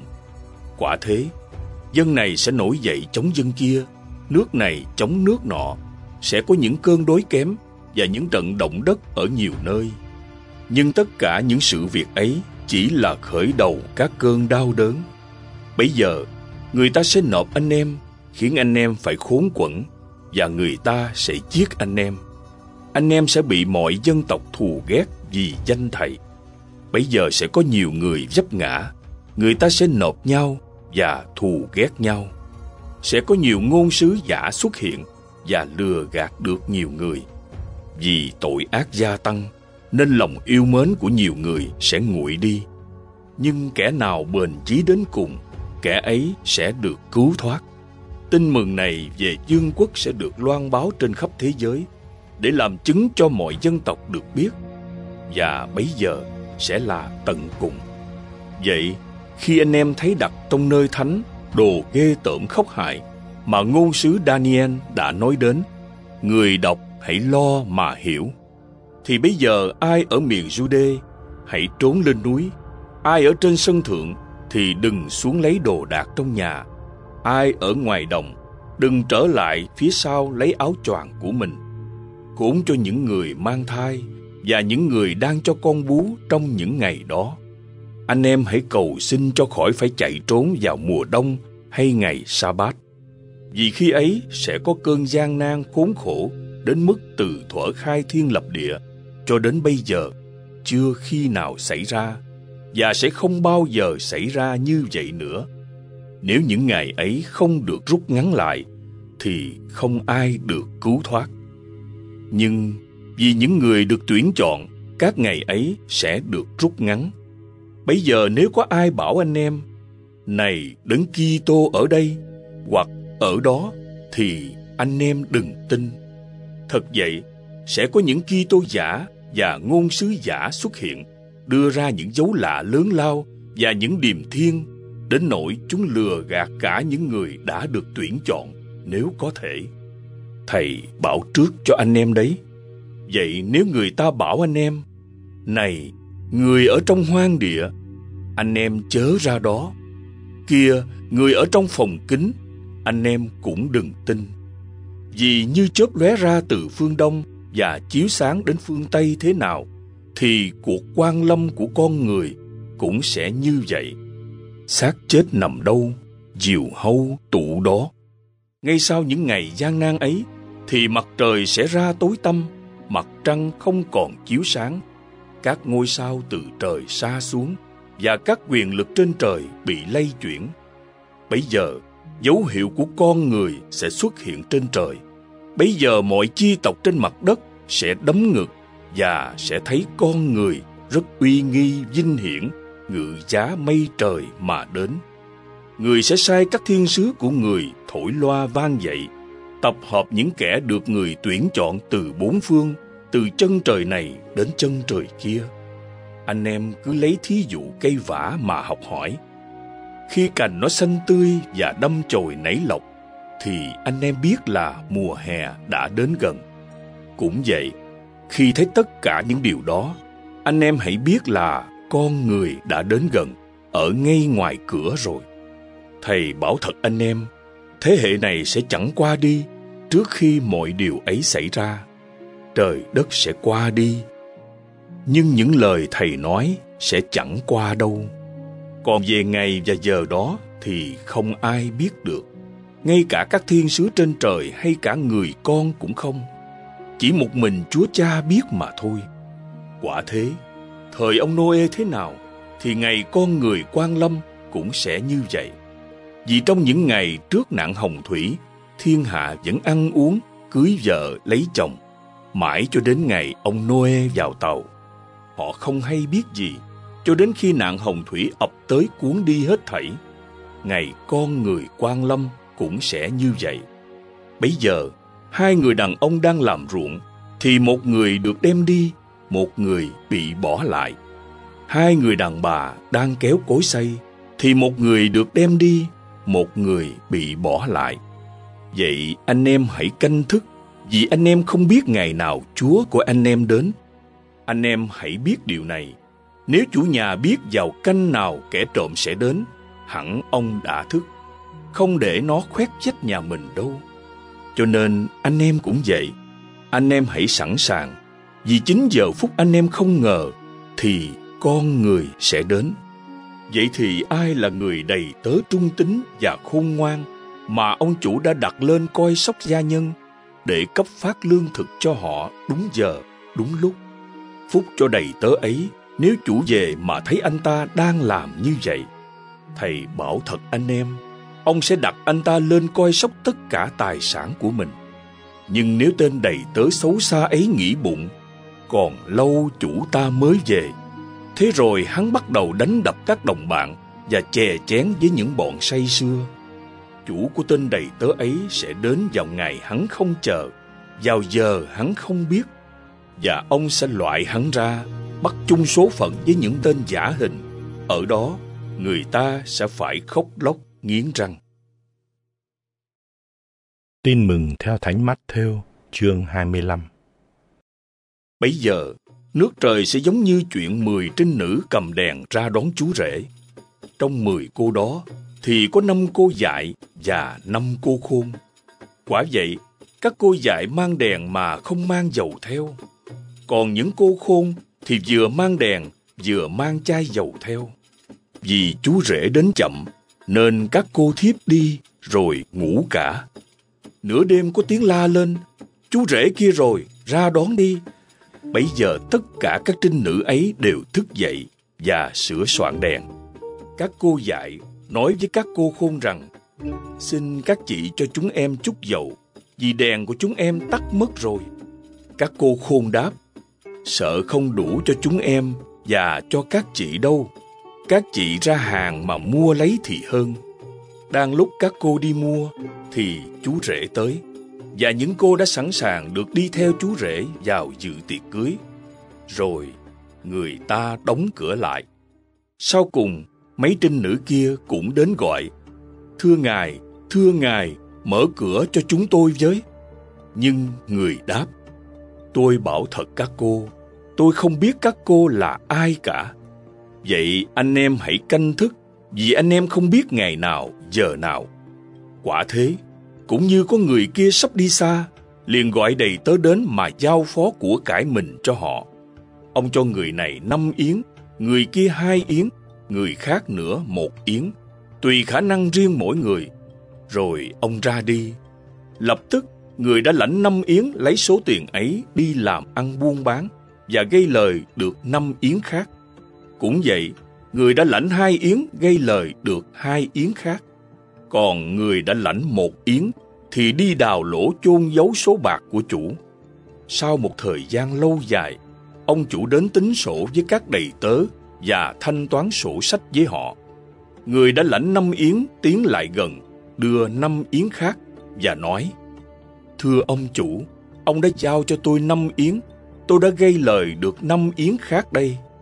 Ông chủ nói với người ấy Khá lắm, hỡi đầy tớ tài giỏi và trung thành, được giao ít mà anh đã trung thành, thì tôi sẽ giao nhiều cho anh. Hãy vào mà hưởng niềm vui của chủ anh. Người đã lãnh hai yến cũng tiến lại gần và nói Thưa ông chủ, ông đã giao cho tôi hai yến. Tôi đã gây lời được hai yến khác đây. Ông chủ nói với người ấy Khá lắm, hỡi đầy tớ tài giỏi và trung thành. Được giao ít mà anh đã trung thành Thì tôi sẽ giao nhiều cho anh. Hãy vào mà hưởng niềm vui của chủ anh. Rồi người đã lãnh một yến cũng tiến lại gần và nói Thưa ông chủ, Tôi biết ông là người hà khắc, gặt chỗ không gieo, thu nơi không giải. Vì thế, tôi đâm sợ, mới đem chôn giấu yến bạc của ông dưới đất. Của ông đây, ông cầm lấy. Ông chủ đáp, hỡi đầy tớ tồi tệ và biến nhát. anh đã biết tôi gặt chỗ không gieo, thu nơi không giải, thì đáng lý anh phải gửi số bạc của tôi vào ngân hàng, để khi tôi đến, tôi thu được cả vốn lẫn lời chứ. Vậy các ngươi hãy lấy yến bạc khỏi tay nó mà đưa cho người đã có mười yến. Vì phàm ai đã có thì được cho thêm và sẽ có dư thừa. Còn ai không có thì ngay cái đang có cũng sẽ bị lấy đi. Còn tên đầy tớ vô dụng kia, hãy quăng nó ra chỗ tối tăm bên ngoài. Ở đó sẽ phải khóc lóc nghiến răng. Khi con người đến trong vinh quang của người, có tất cả các thiên sứ theo hầu. Bây giờ, người sẽ ngự lên ngai vinh hiển của người. Các dân thiên hạ sẽ được tập hợp trước mặt người, và người sẽ tách biệt họ với nhau, như mục tử tách biệt chiên với dê. Người sẽ cho chiên đứng bên phải người, còn dê ở bên trái. Bây giờ đức vua sẽ phán cùng những người ở bên phải rằng, Nào những kẻ cha ta chúc phúc, hãy đến thừa hưởng phương quốc dọn sẵn cho các ngươi, ngay từ thuở tạo thiên lập địa. Vì xưa ta đói, các ngươi đã cho ăn, ta khát, các ngươi đã cho uống, ta là khách lạ, các ngươi đã tiếp rước. Ta trần truồng, các ngươi đã cho mặc, ta đau yếu, các ngươi đã thăm viếng, ta ngồi tù, các ngươi đến hỏi han. Bây giờ những người công chính sẽ thưa rằng, lại Chúa, có bao giờ chúng con đã thấy Chúa đói mà cho ăn, khát mà cho uống? Có bao giờ đã thấy Chúa là khách lạ mà tiếp rước, hoặc trần truồng mà cho mặc? Có bao giờ chúng con đã thấy Chúa đau yếu hoặc ngồi tù mà đến hỏi han đâu? Đức vua sẽ đáp lại rằng, Ta bảo thật các ngươi, mỗi lần các ngươi làm như thế, cho một trong những anh em bé nhỏ nhất của ta đây, là các ngươi đã làm cho chính ta vậy. Rồi đức vua sẽ phán cùng những người ở bên trái rằng, Quân bị nguyền rủa kia, đi đi cho khuất mắt ta, mà vào lửa đời đời, nơi dành sẵn cho tên ác quỷ và các sứ thần của nó. Vì xưa ta đói, các ngươi đã không cho ăn. Ta khát, các ngươi đã không cho uống. Ta là khách lạ, các ngươi đã không tiếp rước. Ta trần truồng, các ngươi đã không cho mặt Ta đau yếu và ngồi tù, các ngươi đã chẳng thâm giếng Bây giờ những người ấy cũng sẽ thưa rằng, Lại Chúa, có bao giờ chúng con đã thấy Chúa đói, khát, hoặc là khách lạ, hoặc trần truồng, đau yếu hay ngồi tù, mà không phục vụ Chúa đâu? Bây giờ người sẽ đáp lại họ rằng, Ta bảo thật các ngươi, mỗi lần các ngươi không làm như thế cho một trong những người bé nhỏ nhất đây, là các ngươi đã không làm cho chính ta vậy. Thế là họ ra đi để chịu cực hình muôn kiếp, còn những người công chính ra đi để hưởng sự sống muôn đời. Tin mừng theo Thánh Matthew chương 26 Khi Đức Giêsu giảng dạy tất cả những điều ấy xong, người bảo các môn đệ của người rằng Anh em biết còn hai ngày nữa là đến lễ vượt qua và con người sắp bị nộp để chịu đóng đinh vào thập giá. Lúc ấy, các thượng tế và kỳ mục trong dân nhóm họp tại dinh của vị thượng tế tên là Cai Pha và cùng nhau quyết định dùng mưu bắt Đức Giêsu và giết đi. Nhưng họ lại nói: Không nên làm vào chính ngày lễ, kẻo gây náo động trong dân. Đức Giêsu đang ở làng Betania tại nhà ông Simon, người từng mắc bệnh phong, thì có một người phụ nữ đến gần người, mang theo một bình bạch ngọc, đựng một thứ dầu thơm đắt giá. Cô đổ dầu thơm trên đầu người, lúc người đang dùng bữa. Thấy vậy, các môn đệ lấy làm bực tức nói: Sao lại phí của như thế? Dầu đó có thể bán được nhiều tiền mà cho người nghèo. Biết thế, Đức Giêsu bảo các ông: Sao lại muốn gây chuyện với người phụ nữ này? Quả thật, cô ấy vừa làm cho thầy một việc nghĩa. Người nghèo thì lúc nào anh em cũng có với anh em, còn thầy thì không phải lúc nào anh em cũng có đâu. Cô ấy đổ dầu thơm trên mình thầy là hướng về ngày mai táng thầy. Thầy bảo thật anh em, tin mừng này được loan báo bất cứ nơi nào trong khắp thiên hạ, thì người ta cũng sẽ kể lại việc cô vừa làm mà nhớ tới cô. Bấy giờ, một người trong nhóm 12 tên là Judas Iscariot đi gặp các thượng tế mà nói Tôi nộp ông ấy cho quý vị, thì quý vị muốn cho tôi bao nhiêu? Họ quyết định cho hắn 30 đồng bạc. Từ lúc đó, hắn cố tìm dịp thuận tiện để nộp Đức Giêsu. Ngày thứ nhất trong tuần bánh không men, các môn đệ đến thưa với Đức Giêsu. Thầy muốn chúng con dọn cho thầy ăn lễ vượt qua ở đâu? Người bảo, Các anh đi vào thành, đến nhà một người kia và nói với ông ấy, Thầy nhắn, thời của thầy đã gần tới. Thầy sẽ đến nhà ông để ăn mừng lễ vượt qua với các môn đệ của thầy. các môn đệ làm y như Đức Giêsu đã truyền và dọn tiệc vượt qua. Chiều đến, Đức Giêsu vào bàn tiệc với 12 môn đệ. Đang bữa ăn, người nói, Thầy bảo thật anh em, một người trong anh em sẽ nộp thầy. Các môn đệ buồn rầu quá sức, lần lượt hỏi người. Thưa ngài, chẳng lẽ con sao? Người đáp, Kẻ giơ tay chấm chung một đĩa với thầy, đó là kẻ nộp thầy. Đã hẳn con người ra đi theo như lời đã chép về người, nhưng khốn cho kẻ nào nộp con người, thà nó đừng sinh ra thì hơn. Juda kẻ nộp người cũng hỏi, Rabbi, ờ, chẳng lẽ con sao? Người trả lời, Chính anh nói đó. cũng trong bữa ăn, Đức Giêsu cầm lấy bánh, dâng lời chúc tụng, rồi bẻ ra, trao cho môn đệ và nói, Anh em cầm lấy mà ăn, đây là mình thầy. Rồi người cầm lấy chén, dâng lời tạ ơn, trao cho môn đệ và nói, Tất cả anh em hãy uống chén này, vì đây là máu thầy, máu giao ước đổ ra cho muôn người được tha tội. Thầy bảo cho anh em biết, từ nay thầy không còn uống thứ sản phẩm này của cây nho, cho đến ngày thầy cùng anh em uống thứ rượu mới trong nước của cha thầy. hát thánh vịnh xong, Đức Giêsu và các môn đệ ra núi Ô Liu. Bấy giờ, Đức Giêsu nói với các ông: Đêm nay, tất cả anh em sẽ dấp ngã vì thầy, vì có lời đã chép, ta sẽ đánh người chăn chiên và đàn chiên sẽ tan tác. Nhưng sau khi trỗi dậy, thầy sẽ đến Galilee trước anh em.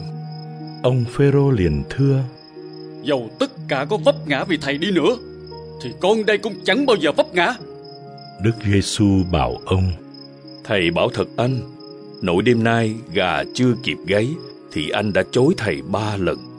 Ông Phêrô lại nói: Dầu có phải chết với thầy Con cũng không chối thầy Tất cả các môn đệ cũng đều nói như vậy. Bấy giờ, Đức Giêsu đi cùng với các ông đến một thửa đất gọi là Gethsemane. Người nói với các môn đệ, Anh em ngồi lại đây, thầy đến đằng kia cầu nguyện. rồi người đưa ông Phêrô và hai người con ông Giê-bê-đê đi theo. Người bắt đầu cảm thấy buồn rầu sao xuyến. Bấy giờ, người nói với các ông, Tâm hồn thầy buồn đến chết được. Anh em ở lại đây mà canh thức với thầy. người đi xa hơn một chút, sấp mặt xuống, cầu nguyện rằng, Lạy cha, nếu có thể được, xin cho con khỏi phải uống chén này. Tuy vậy, xin đừng theo ý con, mà xin theo ý cha.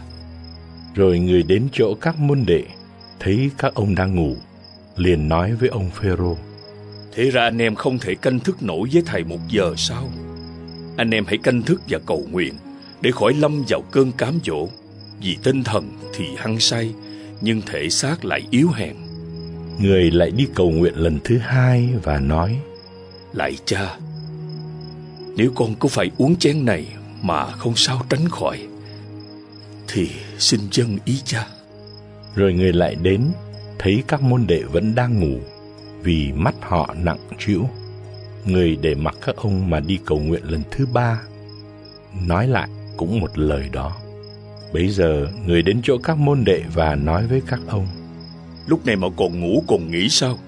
Này, đến giờ con người bị nộp vào tay những kẻ tội lỗi. Đứng dậy, ta đi nào.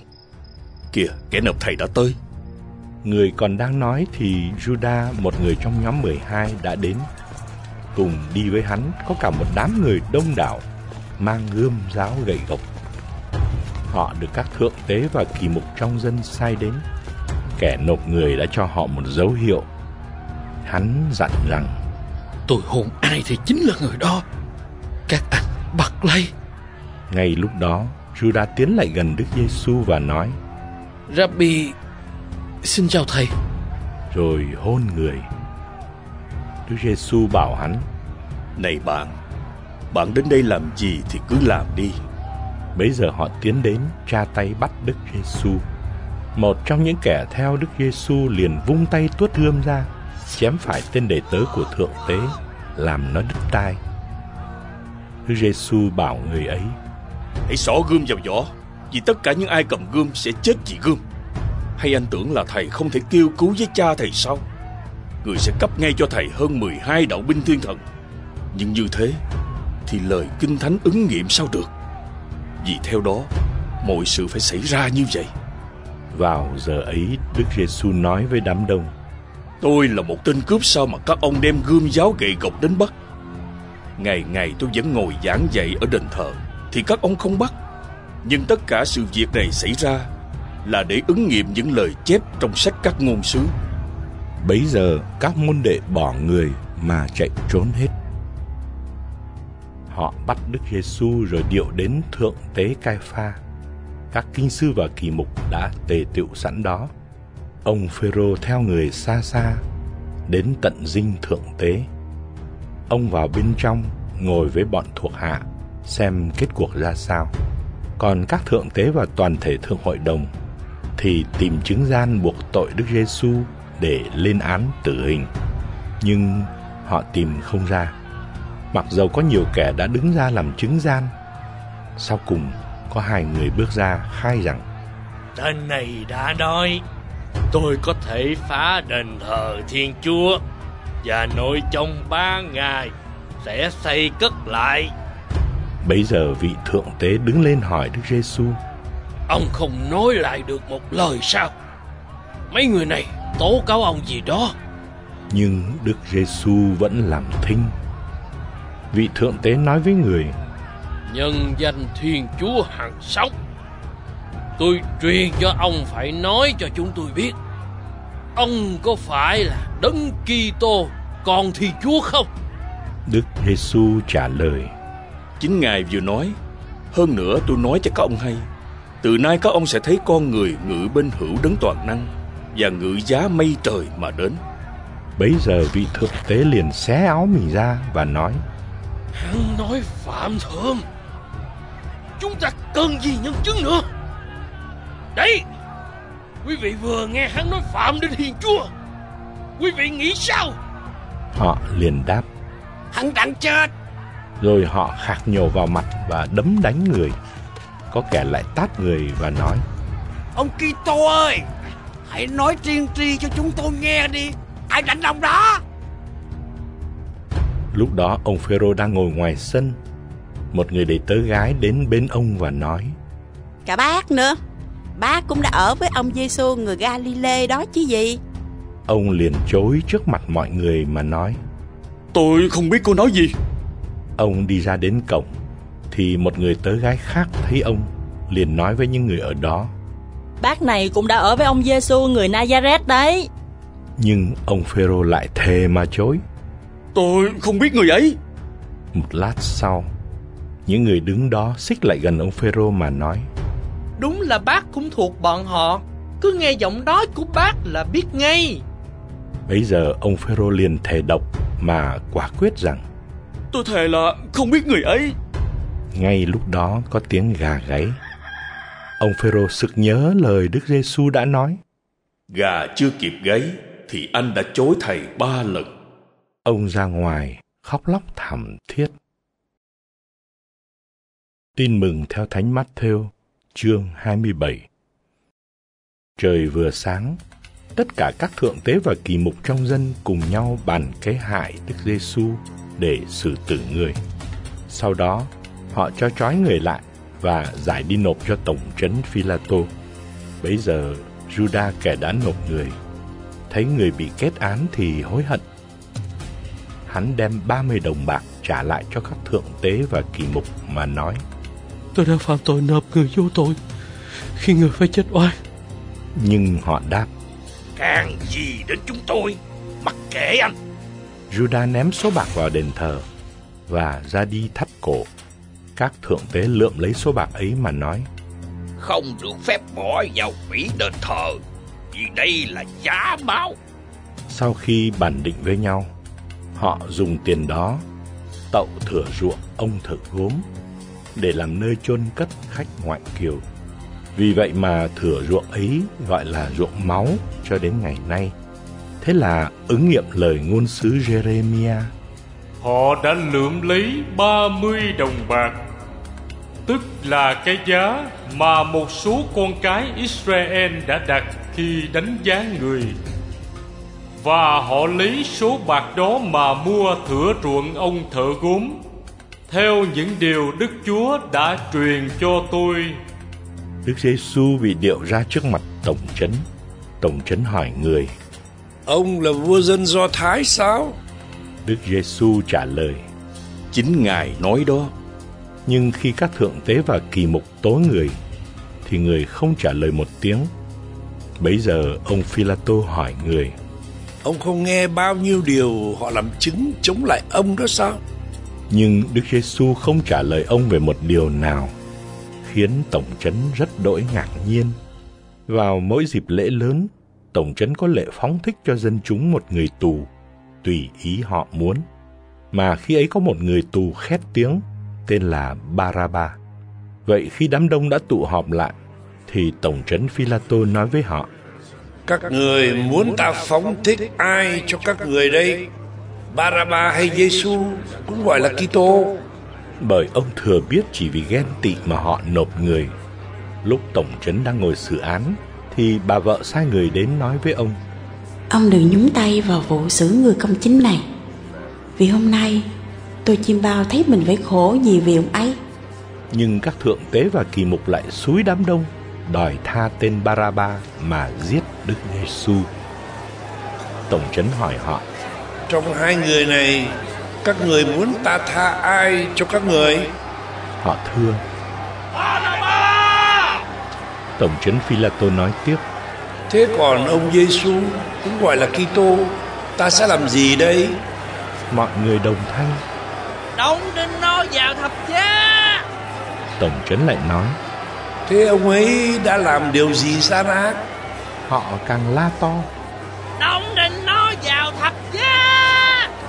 Tổng trấn Phi-la-tô thấy đã chẳng được ích gì mà còn thêm náo động, nên lấy nước rửa tay trước mặt đám đông mà nói: Ta vô can trong vụ đổ máu người này, mặc các ngươi liệu lấy. Toàn dân đáp lại: cứ đổ xuống đầu chúng tôi và con cháu chúng tôi. Bấy giờ tổng trấn phóng thích tên Baraba cho họ. Còn Đức Giêsu thì ông truyền đánh đòn, rồi trao cho họ đóng đinh vào thập giá. Bấy giờ lính của tổng trấn đem Đức Giêsu vào trong dinh và tập trung cả cơ đội quanh người. Chúng lột áo người ra, khoác cho người một tấm áo choàng đỏ, rồi kết một vòng gai làm vương miện đặt lên đầu người và trao vào tay mặt người một cây sậy. Chúng quỳ gối trước mặt người mà nhạo rằng Bạn thuê đức vua dân Do Thái. Rồi chúng khạc nhổ vào người và lấy cây sậy mà đập vào đầu người. Chế diễu chán, chúng lột áo choàng ra và cho người mặc áo lại như trước, rồi điệu người đi đóng đinh vào thập giá. Đang đi ra thì chúng gặp một người Kirine, tên là Simon. Chúng bắt ông vác thập giá của người. Khi đến nơi gọi là Golgotha, nghĩa là đồi sọ, chúng cho người uống rượu pha mật đắng. Nhưng người chỉ nếm một chút mà không chịu uống. Đóng đinh người vào thập giá xong, chúng đem áo người ra bắt thăm mà chia nhau. Rồi chúng ngồi đó mà canh giữ người. Phía trên đầu người chúng đặt bản án xử tội viết rằng Người này là Giêsu, vua dân Do Thái. Cùng bị đóng đinh với người có hai tên cướp, một tên bên phải, một tên bên trái.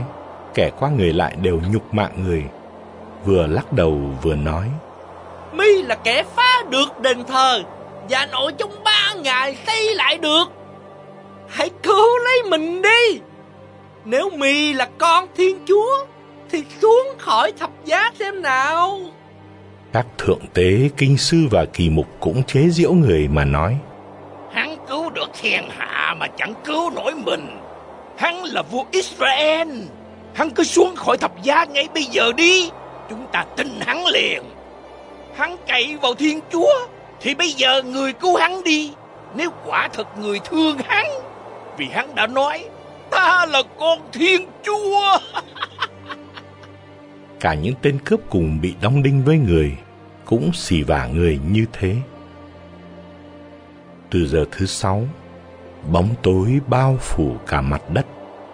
Mãi đến giờ thứ chín, vào giờ thứ chín, Đức Giêsu kêu lớn tiếng: Eli, Eli, lema sabachthani. Nghĩa là lạy Thiên Chúa, lạy Thiên Chúa của con, sao Ngài bỏ rơi con?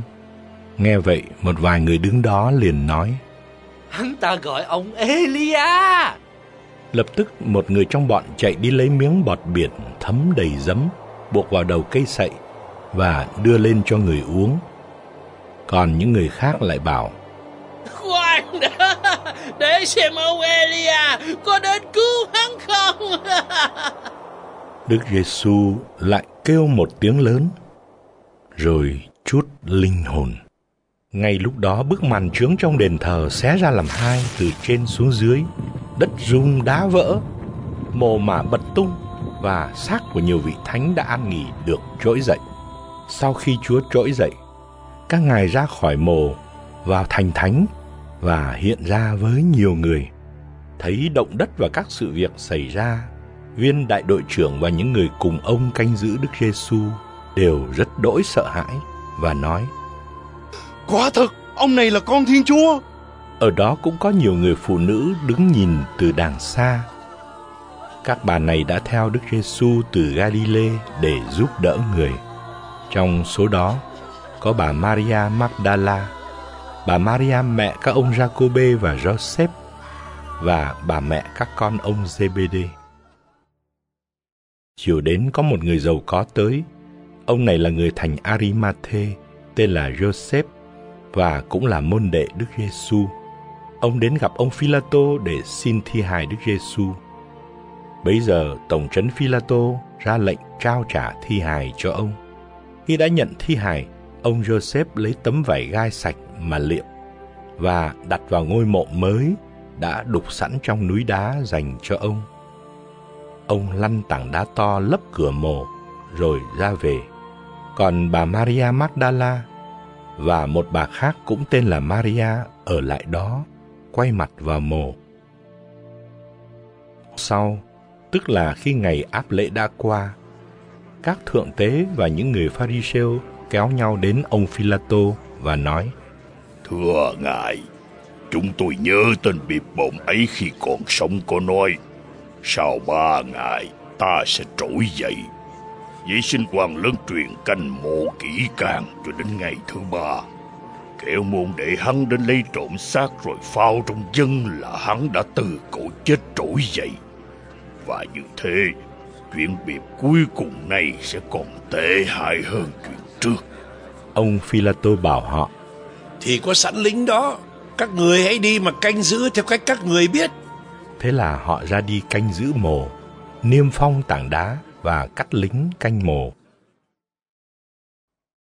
Tin mừng theo Thánh Matthew chương 28 Sau ngày sa bát, khi ngày thứ nhất trong tuần vừa ló dạng, bà Maria Magdala và một bà khác cũng tên là Maria đi viếng mộ. Thình linh, đất rung chuyển dữ dội. Thiên thần Chúa từ trời xuống, đến lăn tảng đá ra, rồi ngồi lên trên. Diện mạo người như ánh chớp, và y phục trắng như tuyết. Thấy người, lính canh khiếp sợ, run rẩy chết ngất đi. Thiên thần lên tiếng bảo các phụ nữ. Này các bà, các bà đừng sợ. Tôi biết các bà tìm Đức Giêsu đấng bị đóng đinh. Người không có ở đây vì người đã trỗi dậy như người đã nói. Các bà đến mà xem chỗ người đã nằm, Rồi mau về nói với môn đệ người như thế này. Người đã trỗi dậy từ cõi chết, Và người đi Galilee trước các ông. Ở đó, các ông sẽ được thấy người. Đấy, tôi xin nói cho các bà hay. Các bà vội vã rời khỏi mộ, Tuy sợ hãi nhưng cũng rất đỗi vui mừng. Chạy về báo tin cho môn đệ Đức Giêsu hay. Bỗng Đức Giêsu đón gặp các bà và nói Chào chị em. Các bà tiến lại gần người ôm lấy chân và bái lạy người. Bấy giờ Đức Giêsu nói với các bà Chị em đừng sợ. Về báo cho anh em của thầy Để họ đến Galilee. Họ sẽ được thấy thầy ở đó. Các bà đang đi thì có mấy người trong đội lính canh mồ vào thành báo cho các thượng tế biết mọi việc đã xảy ra. Các thượng tế liền họp với các kỳ mục. Sau khi bàn bạc, họ cho lính một số tiền lớn và bảo Các anh hãy nói thế này Ban đêm đằng lúc chúng tôi ngủ Các môn đệ của hắn đã đến lấy trộm xác Nếu sự việc này đến tai quan tổng trân Chính chúng tôi sẽ dàn xếp với quan Và lo cho các anh được vô sự lính đã nhận tiền và làm theo lời họ dạy. Câu chuyện này được phổ biến giữa người Do Thái cho đến ngày nay. 11 môn đệ đi tới miền Galilee, đến ngọn núi Đức Giêsu đã truyền cho các ông đến. Khi thấy người, các ông bái lạy, nhưng có mấy ông lại hoài nghi. Đức Giêsu đến gần nói với các ông: Thầy đã được trao toàn quyền trên trời dưới đất. Vậy anh em hãy đi và làm cho muôn dân trở thành môn đệ, làm phép rửa cho họ nhân danh Chúa Cha, Chúa Con và Chúa Thánh Thần. Vậy bảo họ tuân giữ mọi điều Thầy đã truyền cho anh em. Và đây, Thầy ở cùng anh em mọi ngày cho đến tận thế.